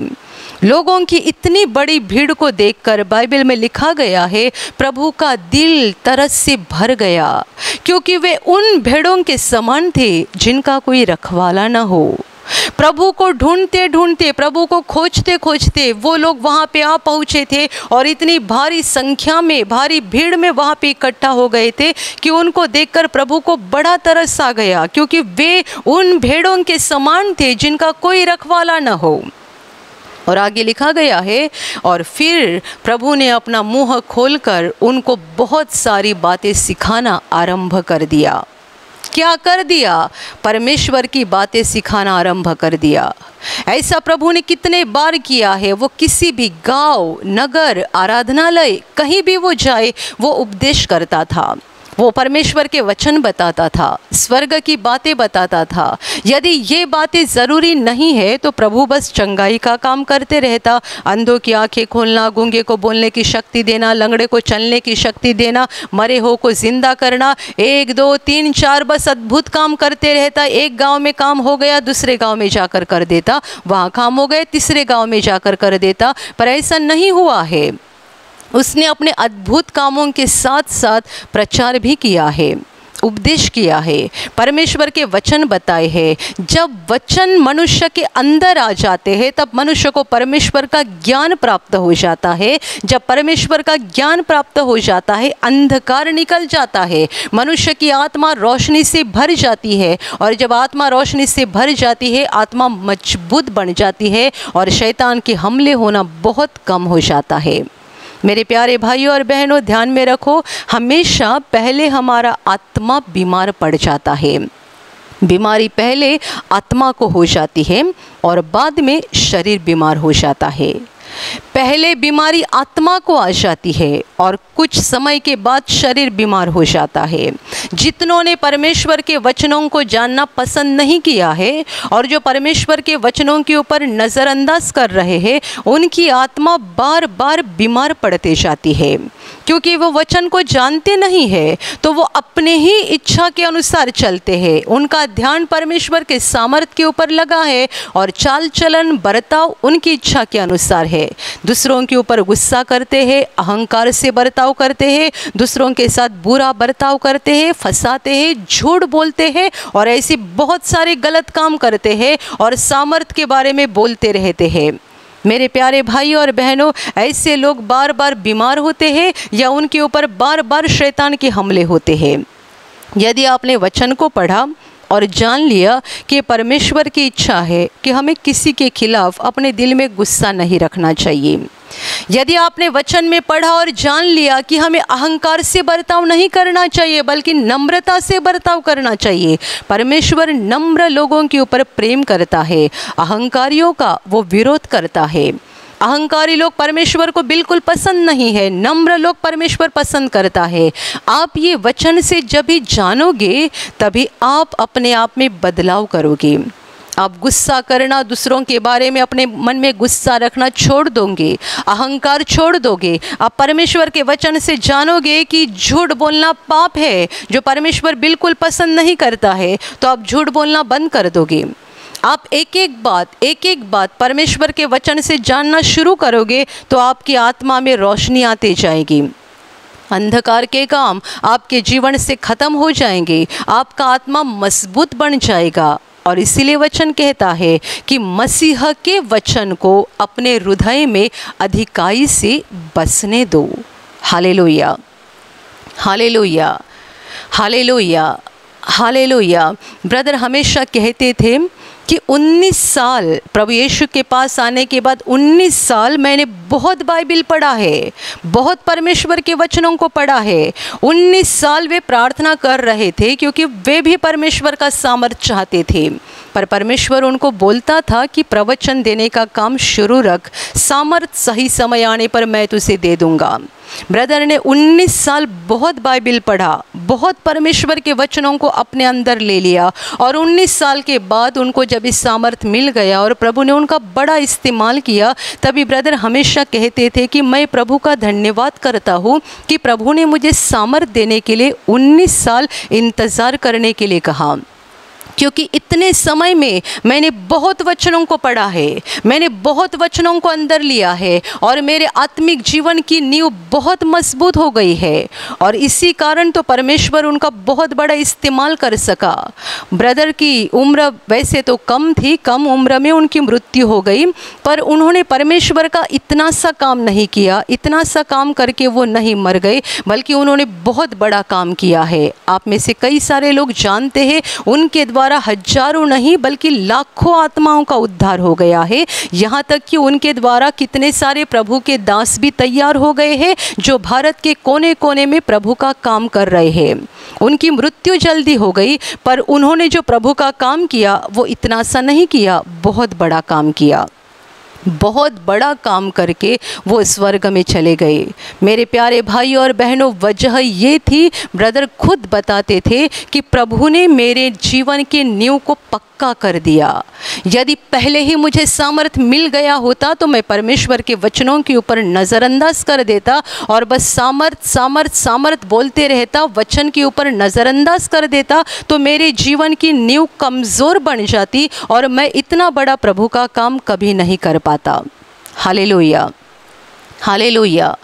हालेलुया। जब से उनको सामर्थ मिला और बहुत बड़े पैमाने में परमेश्वर ने उनका इस्तेमाल करना शुरू कर दिया। तब से शैतान ने उनके ऊपर कितने हमले किए? कितने हमले किए, शैतान ने कितनी तरह तरह की कोशिश की, पर कभी भी वो विश्वास में पीछे नहीं हटे। वे हमेशा कहते हैं कि इतनी संकट आने के बावजूद या इतनी बड़ी विपत्ति आने के बावजूद मेरे मन में एक बार भी ऐसा नहीं आ रहा है कि मैं पीछे हटूं और प्रभु के काम को बंद कर दूँ। एक बार भी नहीं आ रहा है। यहाँ तक कि उनकी मृत्यु होने के कुछ दिन पहले ही उन्होंने कहा था कि मैं जीऊँ या मरूँ, पर प्रभु का ये काम चलते रहना चाहिए। मेरे प्यारे भाइयों और बहनों, ऐसा कौन मनुष्य बोल सकता है कि मैं जीऊँ या मरूँ, पर प्रभु का काम चलते रहना चाहिए? जो आत्मा में मज़बूत है वही बोल सकता है। कमज़ोर और दुर्बल व्यक्ति का ये बोलना मुमकिन नहीं है। जो आत्मा में कमज़ोर और दुर्बल है, वो ऐसा बोल ही नहीं सकते हैं। जो आत्मा में मज़बूत है, वही व्यक्ति अपने मुँह से बोल सकता है कि मैं जीऊँ या मरूँ, पर प्रभु का ये काम आगे बढ़ते रहना चाहिए। ये बात तो उन्होंने उनके मृत्यु के बस पाँच छः दिन पहले बताई थी। मेरे प्यारे भाई और बहनों, ये सच है। आप दुनिया भर में जितने भी प्रभु के सच्चे दास हैं, उनके जीवन के बारे में देखो। उन्होंने अपने जीवन की नींव को परमेश्वर के वचनों के ऊपर खड़ा कर दिया है। वचनों के ऊपर। यदि वचन के ऊपर हमारा जीवन खड़ा हो गया है तो हम मज़बूत बने रहेंगे। कितनी भी विपत्ति आने दो, कितने भी संकट आने दो, हम विश्वास में पीछे नहीं हटेंगे और शैतान की कोई भी ताकत हमारा विनाश नहीं कर पाएगी और ना ही हमें निगल पाएगी। हाले लोहिया हाले लोहिया हाले लोहिया हाले लोहिया मेरे प्यारे भाइयों और बहनों, इसीलिए परमेश्वर के वचनों के ऊपर अपना मन लगाओ और वचनों को अपने अंदर लेना शुरू कर दो। मैं आपको ये नहीं कहूँगी कि सामर्थ के बारे में सोचना या सामर्थ के ऊपर अपना मन लगाना, ये गलत बात है। ये गलत बात नहीं है। पर जितना आप सामर्थ के बारे में सोचते हो और सामर्थ की अभिलाषा रखते हो, उससे ज़्यादा परमेश्वर के वचनों के बारे में सोचो और वचन में वचन को अंदर लेने की अभिलाषा रखो। परमेश्वर के वचनों को आप जितने अंदर लेते जाओगे, आत्मा मज़बूत बनते जाएगी। सामर्थ तो अपने आप आपके जीवन में उतर आएगा। मेरे प्यारे भाइयों और बहनों, ये परमेश्वर का वचन हमें बहुत महत्वपूर्ण सलाह दे रहा है। बहुत महत्वपूर्ण सलाह। मसीह के वचन को अपने अंदर अधिकाई से बसने दो। आप अपने खुद के बारे में सोचो, आप जो प्रवचन सुन रहे हैं इनमें जो भाई बहन ऐसे हैं, आप हमेशा ये सोचते हैं कि इस प्रभु के दास के पास जाकर देखना चाहिए, उस दास के पास जाकर देखना चाहिए या इस दासी के पास जाकर देखना चाहिए। इनके पास बड़ा सामर्थ्य है, उनके पास बड़ा सामर्थ्य है। क्या आप वैसा सोचने वाले लोग हैं? आप गलत हो। मैं आपको बता रही हूँ कि आप गलत हो और ऐसा करने से आपका कोई फ़ायदा नहीं होने जा रहा है। प्रभु का दास बड़ा हो सकता है, उनके पास प्रभु का सामर्थ और पवित्र आत्मा बहुत ज़्यादा पैमाने में हो सकता है, पर आपको उसका फ़ायदा नहीं होगा। आपके लिए ज़रूरी बात है, आप परमेश्वर के वचनों को पढ़ो, वचनों को अंदर ले लो और वचनों के अनुसार अपने आप में बदलाव करो। हाले लोहिया हाले लोहिया हाले आप बस सामर्थ सामर्थ सामर्थ ढूंढते रहोगे, कहाँ ज़्यादा सामर्थ है देखते रहोगे, आपकी एक बीमारी ख़त्म हो जाएगी, दूसरी आ जाएगी। आप मरते दम तक यही देखते रहोगे कि मेरे लिए प्रार्थना कौन करेगा? एक बीमारी निकल गई, अभी दूसरी आ गई। दूसरी निकल गई, तीसरी आ गई। आपके परिवार में एक के बाद एक बीमार पड़ते जाएँगे और आप ज़िंदगी भर यही सोचते रहेंगे कि किसके पास बड़ा सामर्थ्य है, मैं कहाँ जाऊँ? जहाँ जाने के बाद मैं ठीक हो जाऊँगा या मेरी विपत्ति ख़त्म हो जाएगी? हमें परमेश्वर ने यहाँ वहाँ भागने का काम नहीं दिया है। मेरे प्यारे भाई और बहनों, परमेश्वर के वचनों को अपने अंदर ले लो। परमेश्वर की बातों को अपने अंदर ले लो। बाइबिल बहुत पढ़ो और बस कहानी की तरह मत पढ़ो। जैसे हम कहानी की किताब को पढ़ते जाते हैं, पढ़ते जाते हैं, बाद में रख देते, भूल जाते हैं, उस तरीके से मत पढ़ो। ये कहानी की किताब नहीं है, ये जीवन की किताब है। इसे शांति से पढ़ो, धीरज से पढ़ो एक एक वाक्य के ऊपर, ध्यान से देखकर एक एक शब्द के ऊपर, गौर से देखकर, अच्छे से देखकर पढ़ते जाओ। पढ़ते जाओ, उसको अंदर लेते जाओ। आप में ऐसे कोई भाई बहन होंगे जिनको बाइबिल पढ़ते समय कुछ भी समझ में नहीं आता है। कई सारे लोग बोलते हैं कि हम बाइबिल पढ़ते तो है, पर हमारी समझ में नहीं आता है। वजह यह है कि बाइबिल में लिखा गया है कि ये परमेश्वर का संदेश मनुष्य की बुद्धि से नहीं लिखा गया है, दिमाग से नहीं लिखा गया है, बल्कि पवित्र आत्मा से लिखा गया है। बाइबिल का सच्चा लेखक पवित्र आत्मा है। प्रभु के लोगों ने लिखा है, पर सच्चा लेखक पवित्र आत्मा है। तो पवित्र आत्मा ने बाइबिल को लिख दिया है तो इसको समझने के लिए हमें पवित्र आत्मा की ही ज़रूरत है। वचन को पवित्र आत्मा ने लिखा है तो वचन को समझाने का काम भी पवित्र आत्मा ही करता है।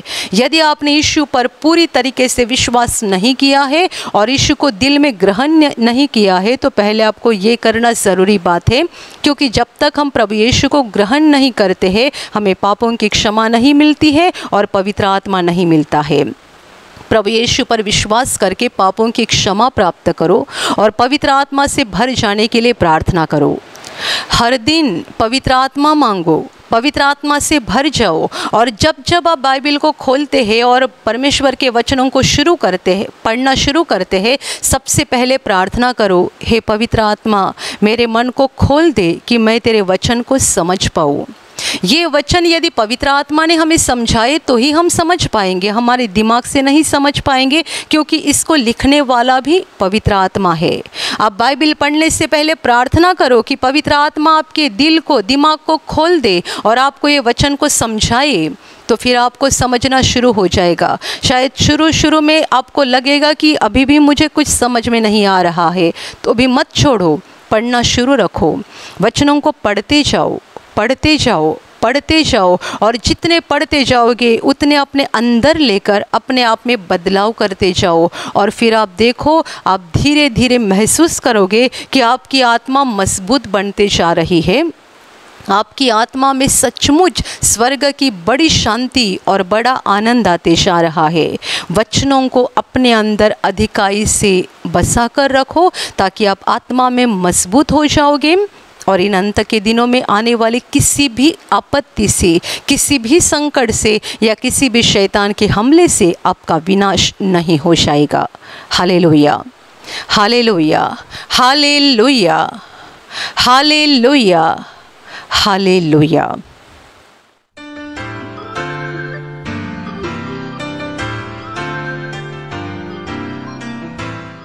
मेरा नाम जो है कि विमलेश कुमार भारती है।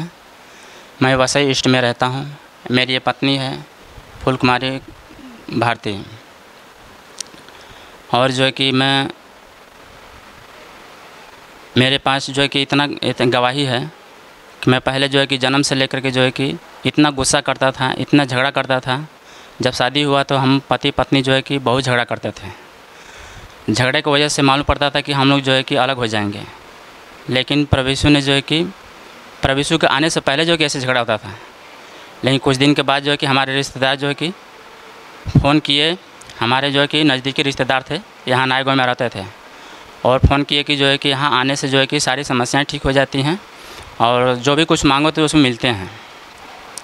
तो हम आए लोग, लेकिन हम बहुत डरते थे कि हम सोचते थे कि जो कि हमारे गाँव में ऐसा जब होता था कि प्रभु को मारने वाले जो है कि पुलिस वाले मारते हैं। लेकिन हमारी औरत जो है कि बोले कि नहीं चलो देखते हैं। एक बार देखते हैं कि क्या होता है वैसा। जब मैं हम लोग आए तो यहाँ बहुत शांति मिली हमको। बहुत शांति मिला। पर प्रभु ने जो है कि हम पर ऐसा दया किया कि हमारे दिल में आते आते समय जो है कि हमें दिल में शांति बहुत मिल गया। ये अशांति बहुत दिनों से था। बहुत दिनों से। जन्म से लेकर के जो है कि हमने अशांति ही में पड़ा था, था। लेकिन प्रभु यीशु के आने में जो है कि हमें बहुत शांति मिल गया। इतना शांति मिल गया कि जो है कि आज हम बहुत शांति हैं। परमेश्वर परमेश्वर ने हमें बहुत शांति दिया। इसके वजह से मैं प्रभु यीशु को बहुत लाख लाख धन्यवाद करता हूँ। मेरी दूसरी गवाही है, गए महीने में दस तारीख को मेरे जो है कि तबीयत ख़राब हो गया, बुखार लग गया। मैं डर गया कि कहीं कोरोना ना पकड़ ले, लेकिन यीशु ने हम पर दया किया और बुखार लगा, कम से कम जो है कि 19 तारीख तक बुखार लगा। बीच में हमारी औरत पड़ गई बीमार। मैं हम लोग डर गए। हम लोग का खाना बनाने वाला, खिलाने वाला कोई है नहीं। अब हम लोग के बनाने खिलाने वाला कौन? लेकिन बाजू वाली बहन थी, लेकिन वही जो है कि हम लोग का खाना बना करके एक एक टाइम दिया खाना। उसी दिन जो है कि 19 तारीख जो है कि हम लोग अतवार को जो है कि संडे को संडे को जो है कि हम लोग ऑनलाइन प्रार्थना लोड किए थे। वही ऑनलाइन प्रार्थना जो है कि हम लोग 19 तारीख को लिए। 19 तारीख को लेने के बाद जो है कि ऑनलाइन प्रार्थना के द्वारा सिस्टर बोली कि जो है कि अपनी बीमारी पर हाथ रखो और जो है कि हम प्रार्थना करती हूँ। हम लोग जो है कि अपने सीने पर हाथ रखे और रो रो के प्रार्थना किए प्रभु यीशु के पास। और सिस्टर भी जो है कि प्रार्थना जो है कि भेजी और उस समय से जो है कि हम लोग चंगे हो गए। इसलिए प्रभु यीशु को मैं बहुत बहुत कोटि कोटि धन्यवाद करता हूँ। और एक में दूसरी गवाही है कि मैं केस में फंस गया था, इसके वजह से जो है कि प्रार्थना रातों दिन करता था।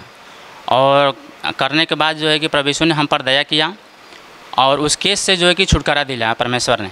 मैं उसके लिए मैं लाख लाख धन्यवाद करता हूँ प्रभु यीशु को। पहला गवाही मेरी ये है कि मेरे सीना में ना हमेशा दर्द होता था। इतनी भयंकर दर्द होता था ना कि मैं ठंडी के सीज़न था और मैं गाँव में थी तो वो टाइम में ना प्रभु में नहीं थी।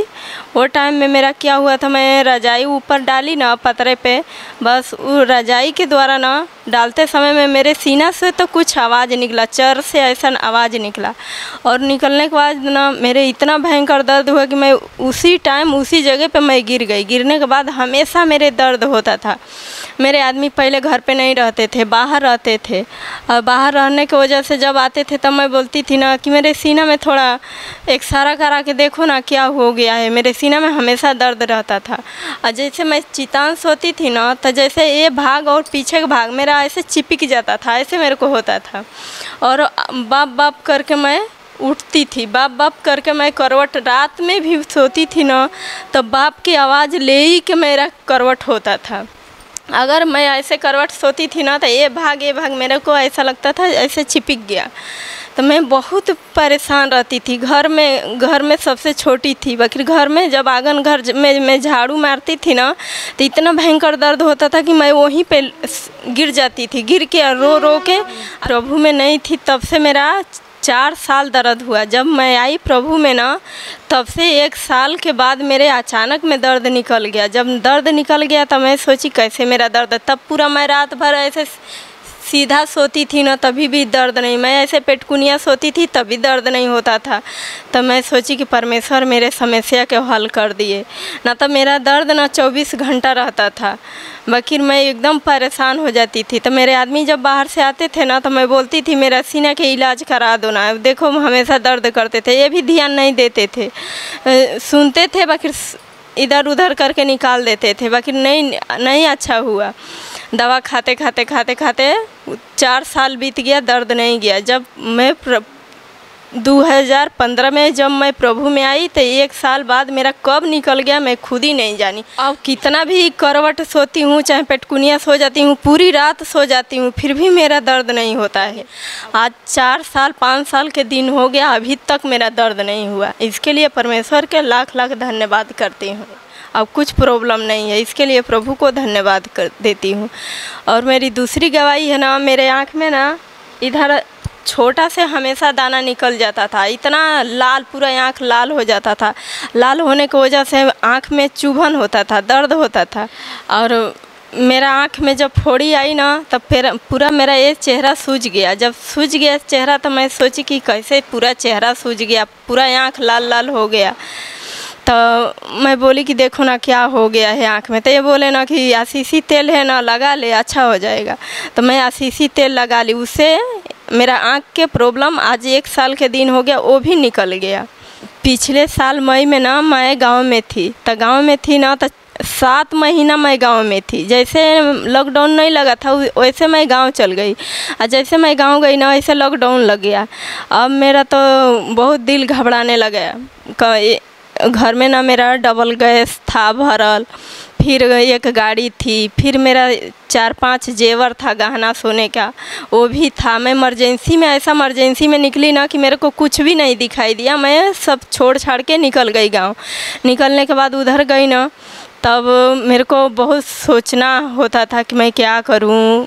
घर में डबल गैस है गाड़ी है और पतरा के रूम है, इसमें कभी आग भी न लग जाए। प्रभु तू ही है बचाने वाला और कोई नहीं है बचाने वाला। तब मेरे रूम के ये बाजू और ये बाजू, दोनों बाजू में ना चोरी हुआ। तब मेरा बहुत दिल घबराने लगा कि मैं इतना सामान छोड़ के आई हूँ, ये प्रभु क्या होएगा? तब फिर ऑनलाइन जब हम लोग प्रार्थना लेते थे ना तो जब जैसे हम मैं हाथ जोड़ के ऐसे आँख मूंद के प्रार्थना लेती थी ना तो मेरा पूरा रूम दिखता था। क्या दिखता था ना कि मेरे रूम का जो दरवाज़ा है, उसका कब्जा निकाल के और कोई घर में मेरा घुस के सारा सामान मैंने उठा ले गए हैं। ऐसा मेरे को हुआ। तो मैं अपने बाजू वाली के पास फ़ोन की तो बोलती है कि नहीं, तुम्हारे रूम के बाजू में चोरी हुआ है और तुम लोग कोशिश करो कि जल्दी आ जाओ तो अच्छा है। तब म- मेरी एक सिस्टर थी तो उनसे मैं बोली तो वो बोली ना कि हाँ हम लोग आसीसी मिट्टी और तेल है, बदर के कबर के मिट्टी है, हम लोग ले जाके डाल देते हैं। तेरे दरवाज़ा पे प्रभु ना अपना स्वर्गदूत भेज के रखवाली करेगा, तू चिंता मत कर। ऐसे वो बोली ना, तब, तभी भी मेरे दिल में शांति नहीं आती थी। तो जब मैं आँख मुदती थी ना तो मेरा प्रभु यीशु के यही वचन याद आता था कि जहाँ तेरा धन है, तहाँ तेरा मन लगेगा। यही बात मेरे को बार बार उत्पन्न होता था। फिर भी मेरे दिल में शांति नहीं आता था। मैं इनसे बहुत झगड़ा करती थी, चलो ना, कैसे भी करके चलो ना, मेरा सारा सामान उधर ही है। मेरे को बहुत डर है, बहुत चिंता होता है कि ऐसे कुछ हो जाएगा तो क्या होएगा। बाकी मेरे घर के बाजू वाली क्या बोलती थी कि जिस घर में इंसान है, उसमें चोरी होता है। जिस घर में इतना सामान है, कोई भी नहीं है, उस घर में चोरी नहीं होता है। ऐसे लोग बोले। फिर भी मेरा परमेश्वर ना सच में स्वर्गदूत भेज के और मेरे घर का रखवाली किया। इसके लिए मैं प्रभु यीशु को लाख लाख, कोटि कोटि धन्यवाद करती हूँ। धन्यवाद प्रभु यीशु, धन्यवाद। अब मेरे घर में चोरी भी नहीं हुआ। जितना सामान था, मेरा एकदम सेफ़ सेफ़ बचा था। कुछ भी ही मेरा नुकसान नहीं हुआ था। इसके लिए प्रभु यीशु के लाख लाख शुक्रिया करती हूँ। धन्यवाद प्रभु यीशु।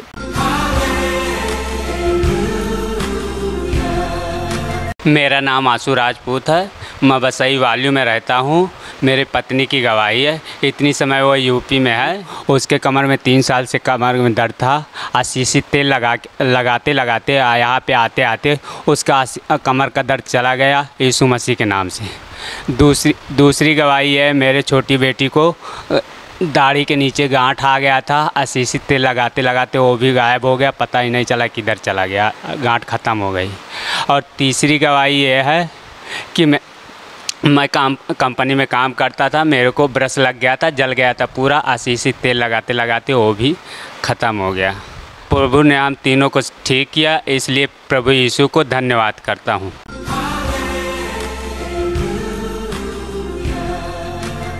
मेरा नाम संतोष गिरी है। मैं बिहार का रहने वाला हूँ। नाला सोपारा धानुबाग में रहता हूँ। पंद्रह दिन पहले मेरे को बुखार लगा था। डॉक्टर के पास गया, दवा लिया, दवा खाते ही बुखार डाउन हो जाता था। दवा का असर हो- ख़त्म होते ही वापस बुखार आ जाता था। मैं बहुत परेशान हो गया था। एक रोज़ रात को करीब बारह एक बजे बहुत तेज़ बुखार आ गया कि मैं अलवल कुछ भी बेहोश हो गया था। क्या बोल रहा हूँ, नहीं बोल रहा हूँ, कुछ सुध ही नहीं रहता था मेरा।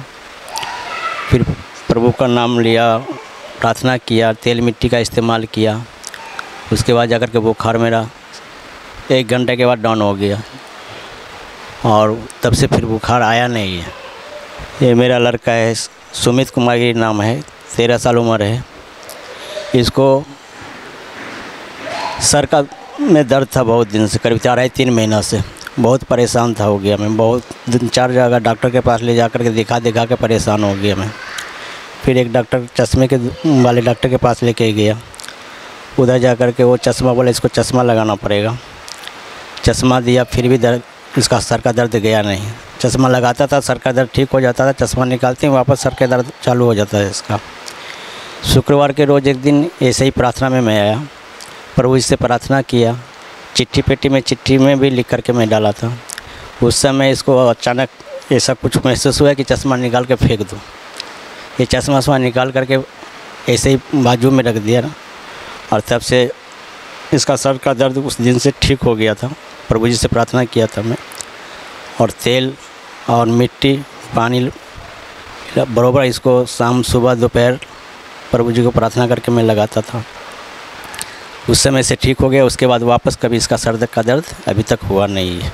एक गवाही और है मेरा कि मैं करीब साढ़े तीन साल से ऊपर हो गया इधर आते हुए प्रार्थना घर में। इससे पहले मैं बहुत परेशान रहता था। करीब पच्चीस तीस हज़ार रुपया महीने का कमाता था, लेकिन कभी ये बीमार, कभी वो बीमार, कभी वो बीमार। हमेशा एक भी रुपया बचता नहीं था, हमेशा मैं कर्ज में ही डूबा रहता था।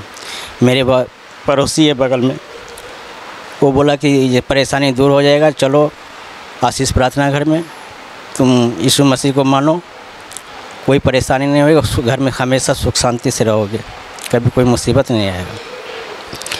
मैं तो विश्वास नहीं किया था उस समय, लेकिन मेरी औरत विश्वास किया और वो आने लगा उसके साथ। फिर एक रोज़ मैं ऐसे ही काम पर से आया, शाम को ये मैं को बताई कि ऐसे ऐसे मैं गया था वहाँ पे। सचमुच वहाँ पे जाने के बाद दिल में शांति मिलती है और इच्छा भी पूरा होता है। मैं बोला, ठीक है, चलो एक मैं भी चलता हूँ। फिर शुक्रवार को, अगले शुक्रवार को मैं आया यहाँ पे। यहाँ पे आया, मेरे को एहसास हुआ कुछ कि हाँ सच में प्रभु जी के कृपा है, महिमा है। उसके बाद जो भी मैं कमाता हूँ, उसमें बहुत बरकत होती है मेरी। जब से प्रभु यीशु मसीह में आए हैं, बीमार तो छोटा मोटा परेशानी रहता है, यह आपका भी, सर दर्द का भी ये सब रहता ही है लेकिन पहले वो जो भी कमाते थे, आधा से ज़्यादा बीमारी के ऊपर खर्च हो जाते थे। लेकिन अभी जब से साढ़े तीन साल से मैं इधर आ रहा हूँ, कोई भी बीमार पड़ता है, प्रभु से प्रार्थना करते हैं, तिल, मिट्टी, पानी का इस्तेमाल करते हैं, प्रभु की आशीष हम पे होती है और वो बीमारी से चंगाई मिल जाती है हमें। उतना पैसा खर्च नहीं होता है, इसलिए मैं प्रभु यीशु मसीह को धन्यवाद देता हूँ।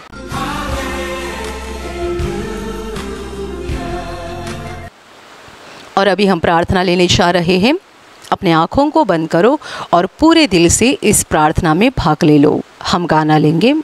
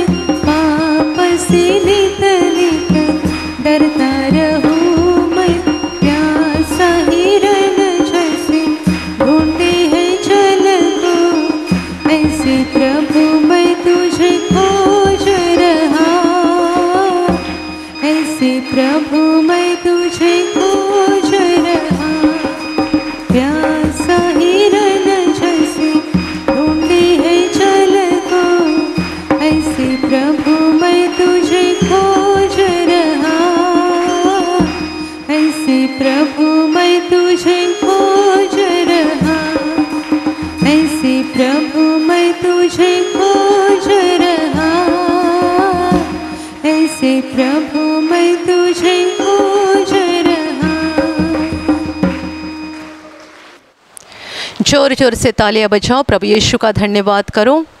दिल से कहो, धन्यवाद प्रभु धन्यवाद प्रभु धन्यवाद प्रभु धन्यवाद प्रभु। तालियाँ बजाकर प्रभु का धन्यवाद करते जाओ, धन्यवाद करते जाओ उसके प्रेम के लिए, उसकी महान करुणा के लिए, उसकी दया के लिए उसका धन्यवाद करो धन्यवाद करो धन्यवाद करो, धन्यवाद प्रभु धन्यवाद प्रभु, धन्यवाद धन्यवाद धन्यवाद।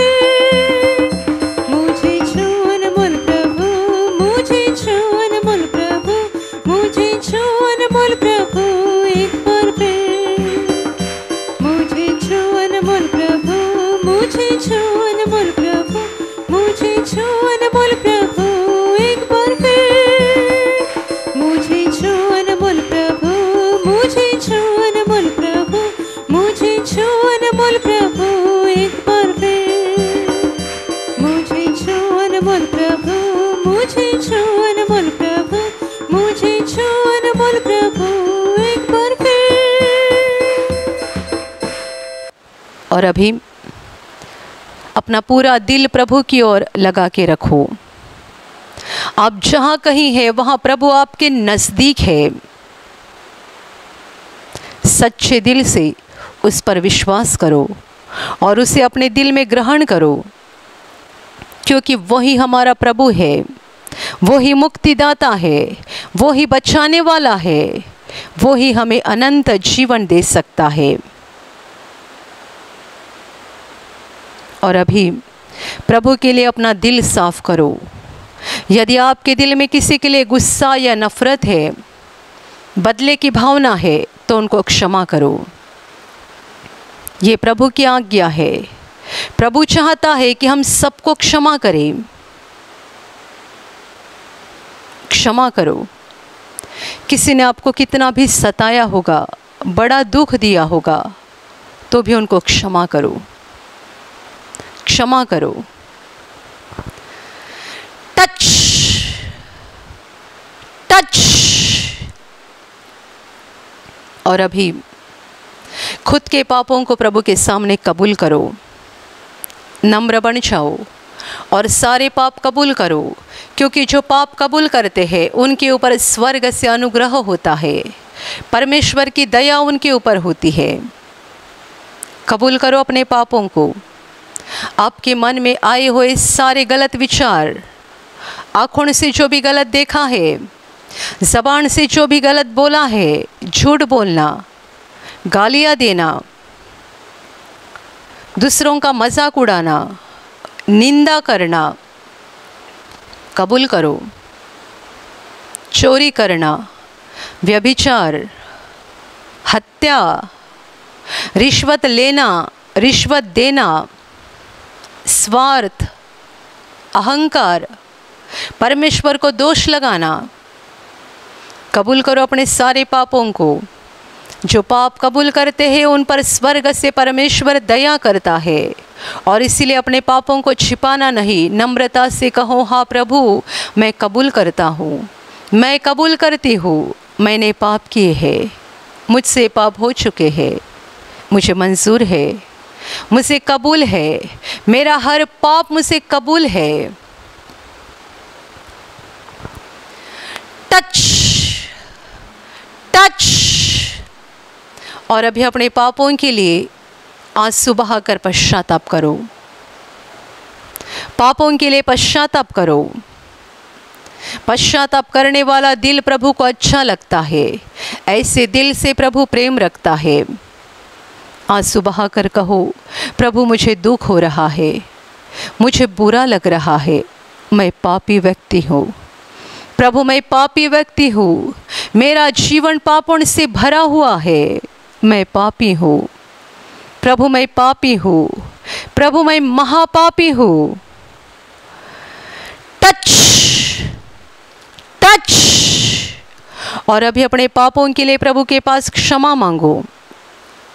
हमें पापों की क्षमा दिलाने के लिए प्रभु यीशु ने क्रूस पर जान दी है। उसने हमारे लिए बलिदान किया है।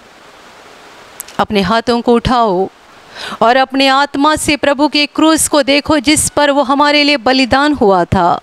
और दिल से आवाज़ देकर उसे कहो, प्रभु यीशु, मुझे क्षमा कर। मुझे क्षमा कर प्रभु। मुझे क्षमा कर प्रभु। मैं पापी हूँ।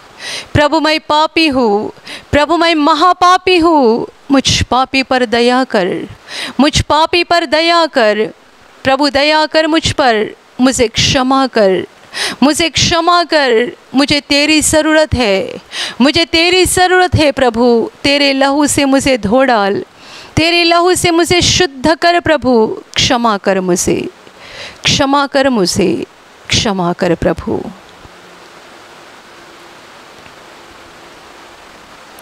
और अभी विश्वास के साथ अपने बीमार भाग पर हाथ रखो। एक पल में प्रभु आपको छूकर चंगाई देगा। जहाँ आपको बीमारी है, वहाँ बड़े विश्वास के साथ हाथ रखो और यदि वहाँ हाथ नहीं रख सकते हैं तो अपने सीने पर हाथ रखो। ये प्रभु का समय है। ये प्रभु की घड़ी है। स्वर्ग आपके लिए खुल चुका है। आपके शरीर में से हर बीमारी प्रभु यीशु के पवित्र नाम से इस क्षण निकल जाए। अंधे देखने लगे, गूँगे बोलने लगे, लंगड़े चलने लगे, बहिरे सुनने लगे, कोड़ी शुद्ध हो जाए। शरीर की गांठियाँ नष्ट हो जाए, शरीर के दाग नष्ट हो जाए, जख्म सूख जाए।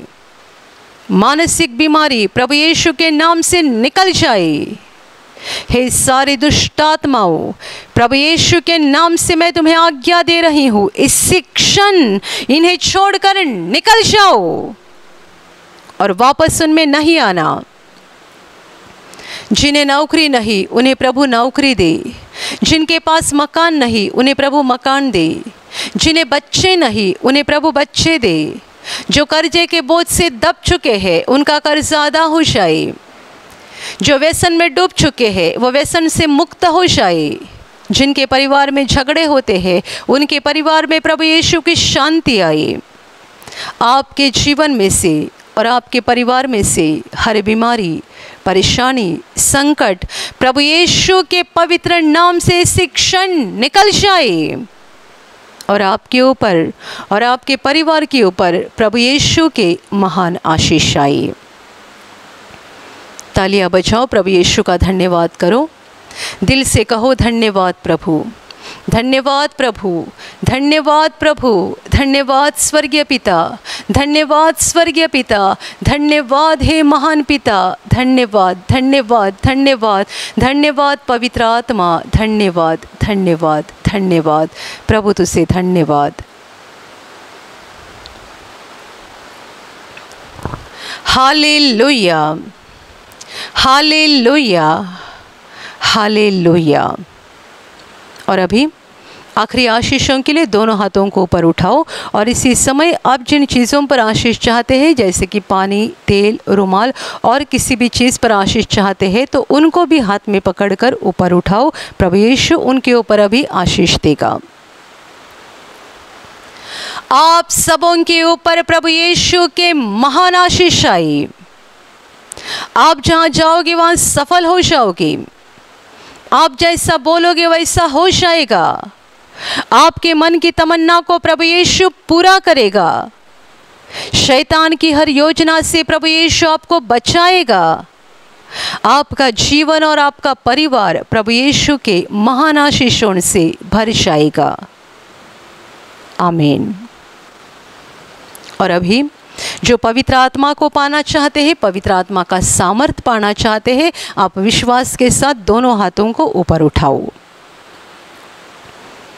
आप सबों के ऊपर पवित्र आत्मा आ जाए।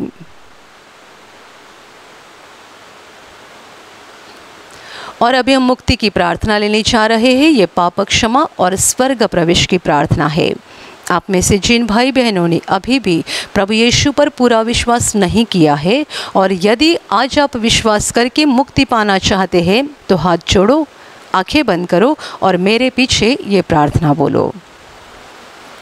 हे प्रभु यीशु, आज मैं तुझ पर पूरी तरह से विश्वास करता हूँ। मैं विश्वास करता हूँ कि तू परमेश्वर का पुत्र है। तू मेरे लिए स्वर्ग छोड़कर धरती पर आया। मेरे लिए तूने क्रूस पर जान दी है। हे प्रभु यीशु, आज मेरे दिल में मैं तुझे ग्रहण करता हूँ। तू मेरा प्रभु है। तू मेरा मुक्तिदाता है। हे प्रभु यीशु, मैं पापी हूँ। मुझे क्षमा कर और मुझे तेरे पवित्र आत्मा से भर दे। Amen. Hallelujah. Hallelujah. Hallelujah. Hallelujah. Hallelujah. और अभी हम आखिरी गाना लेंगे।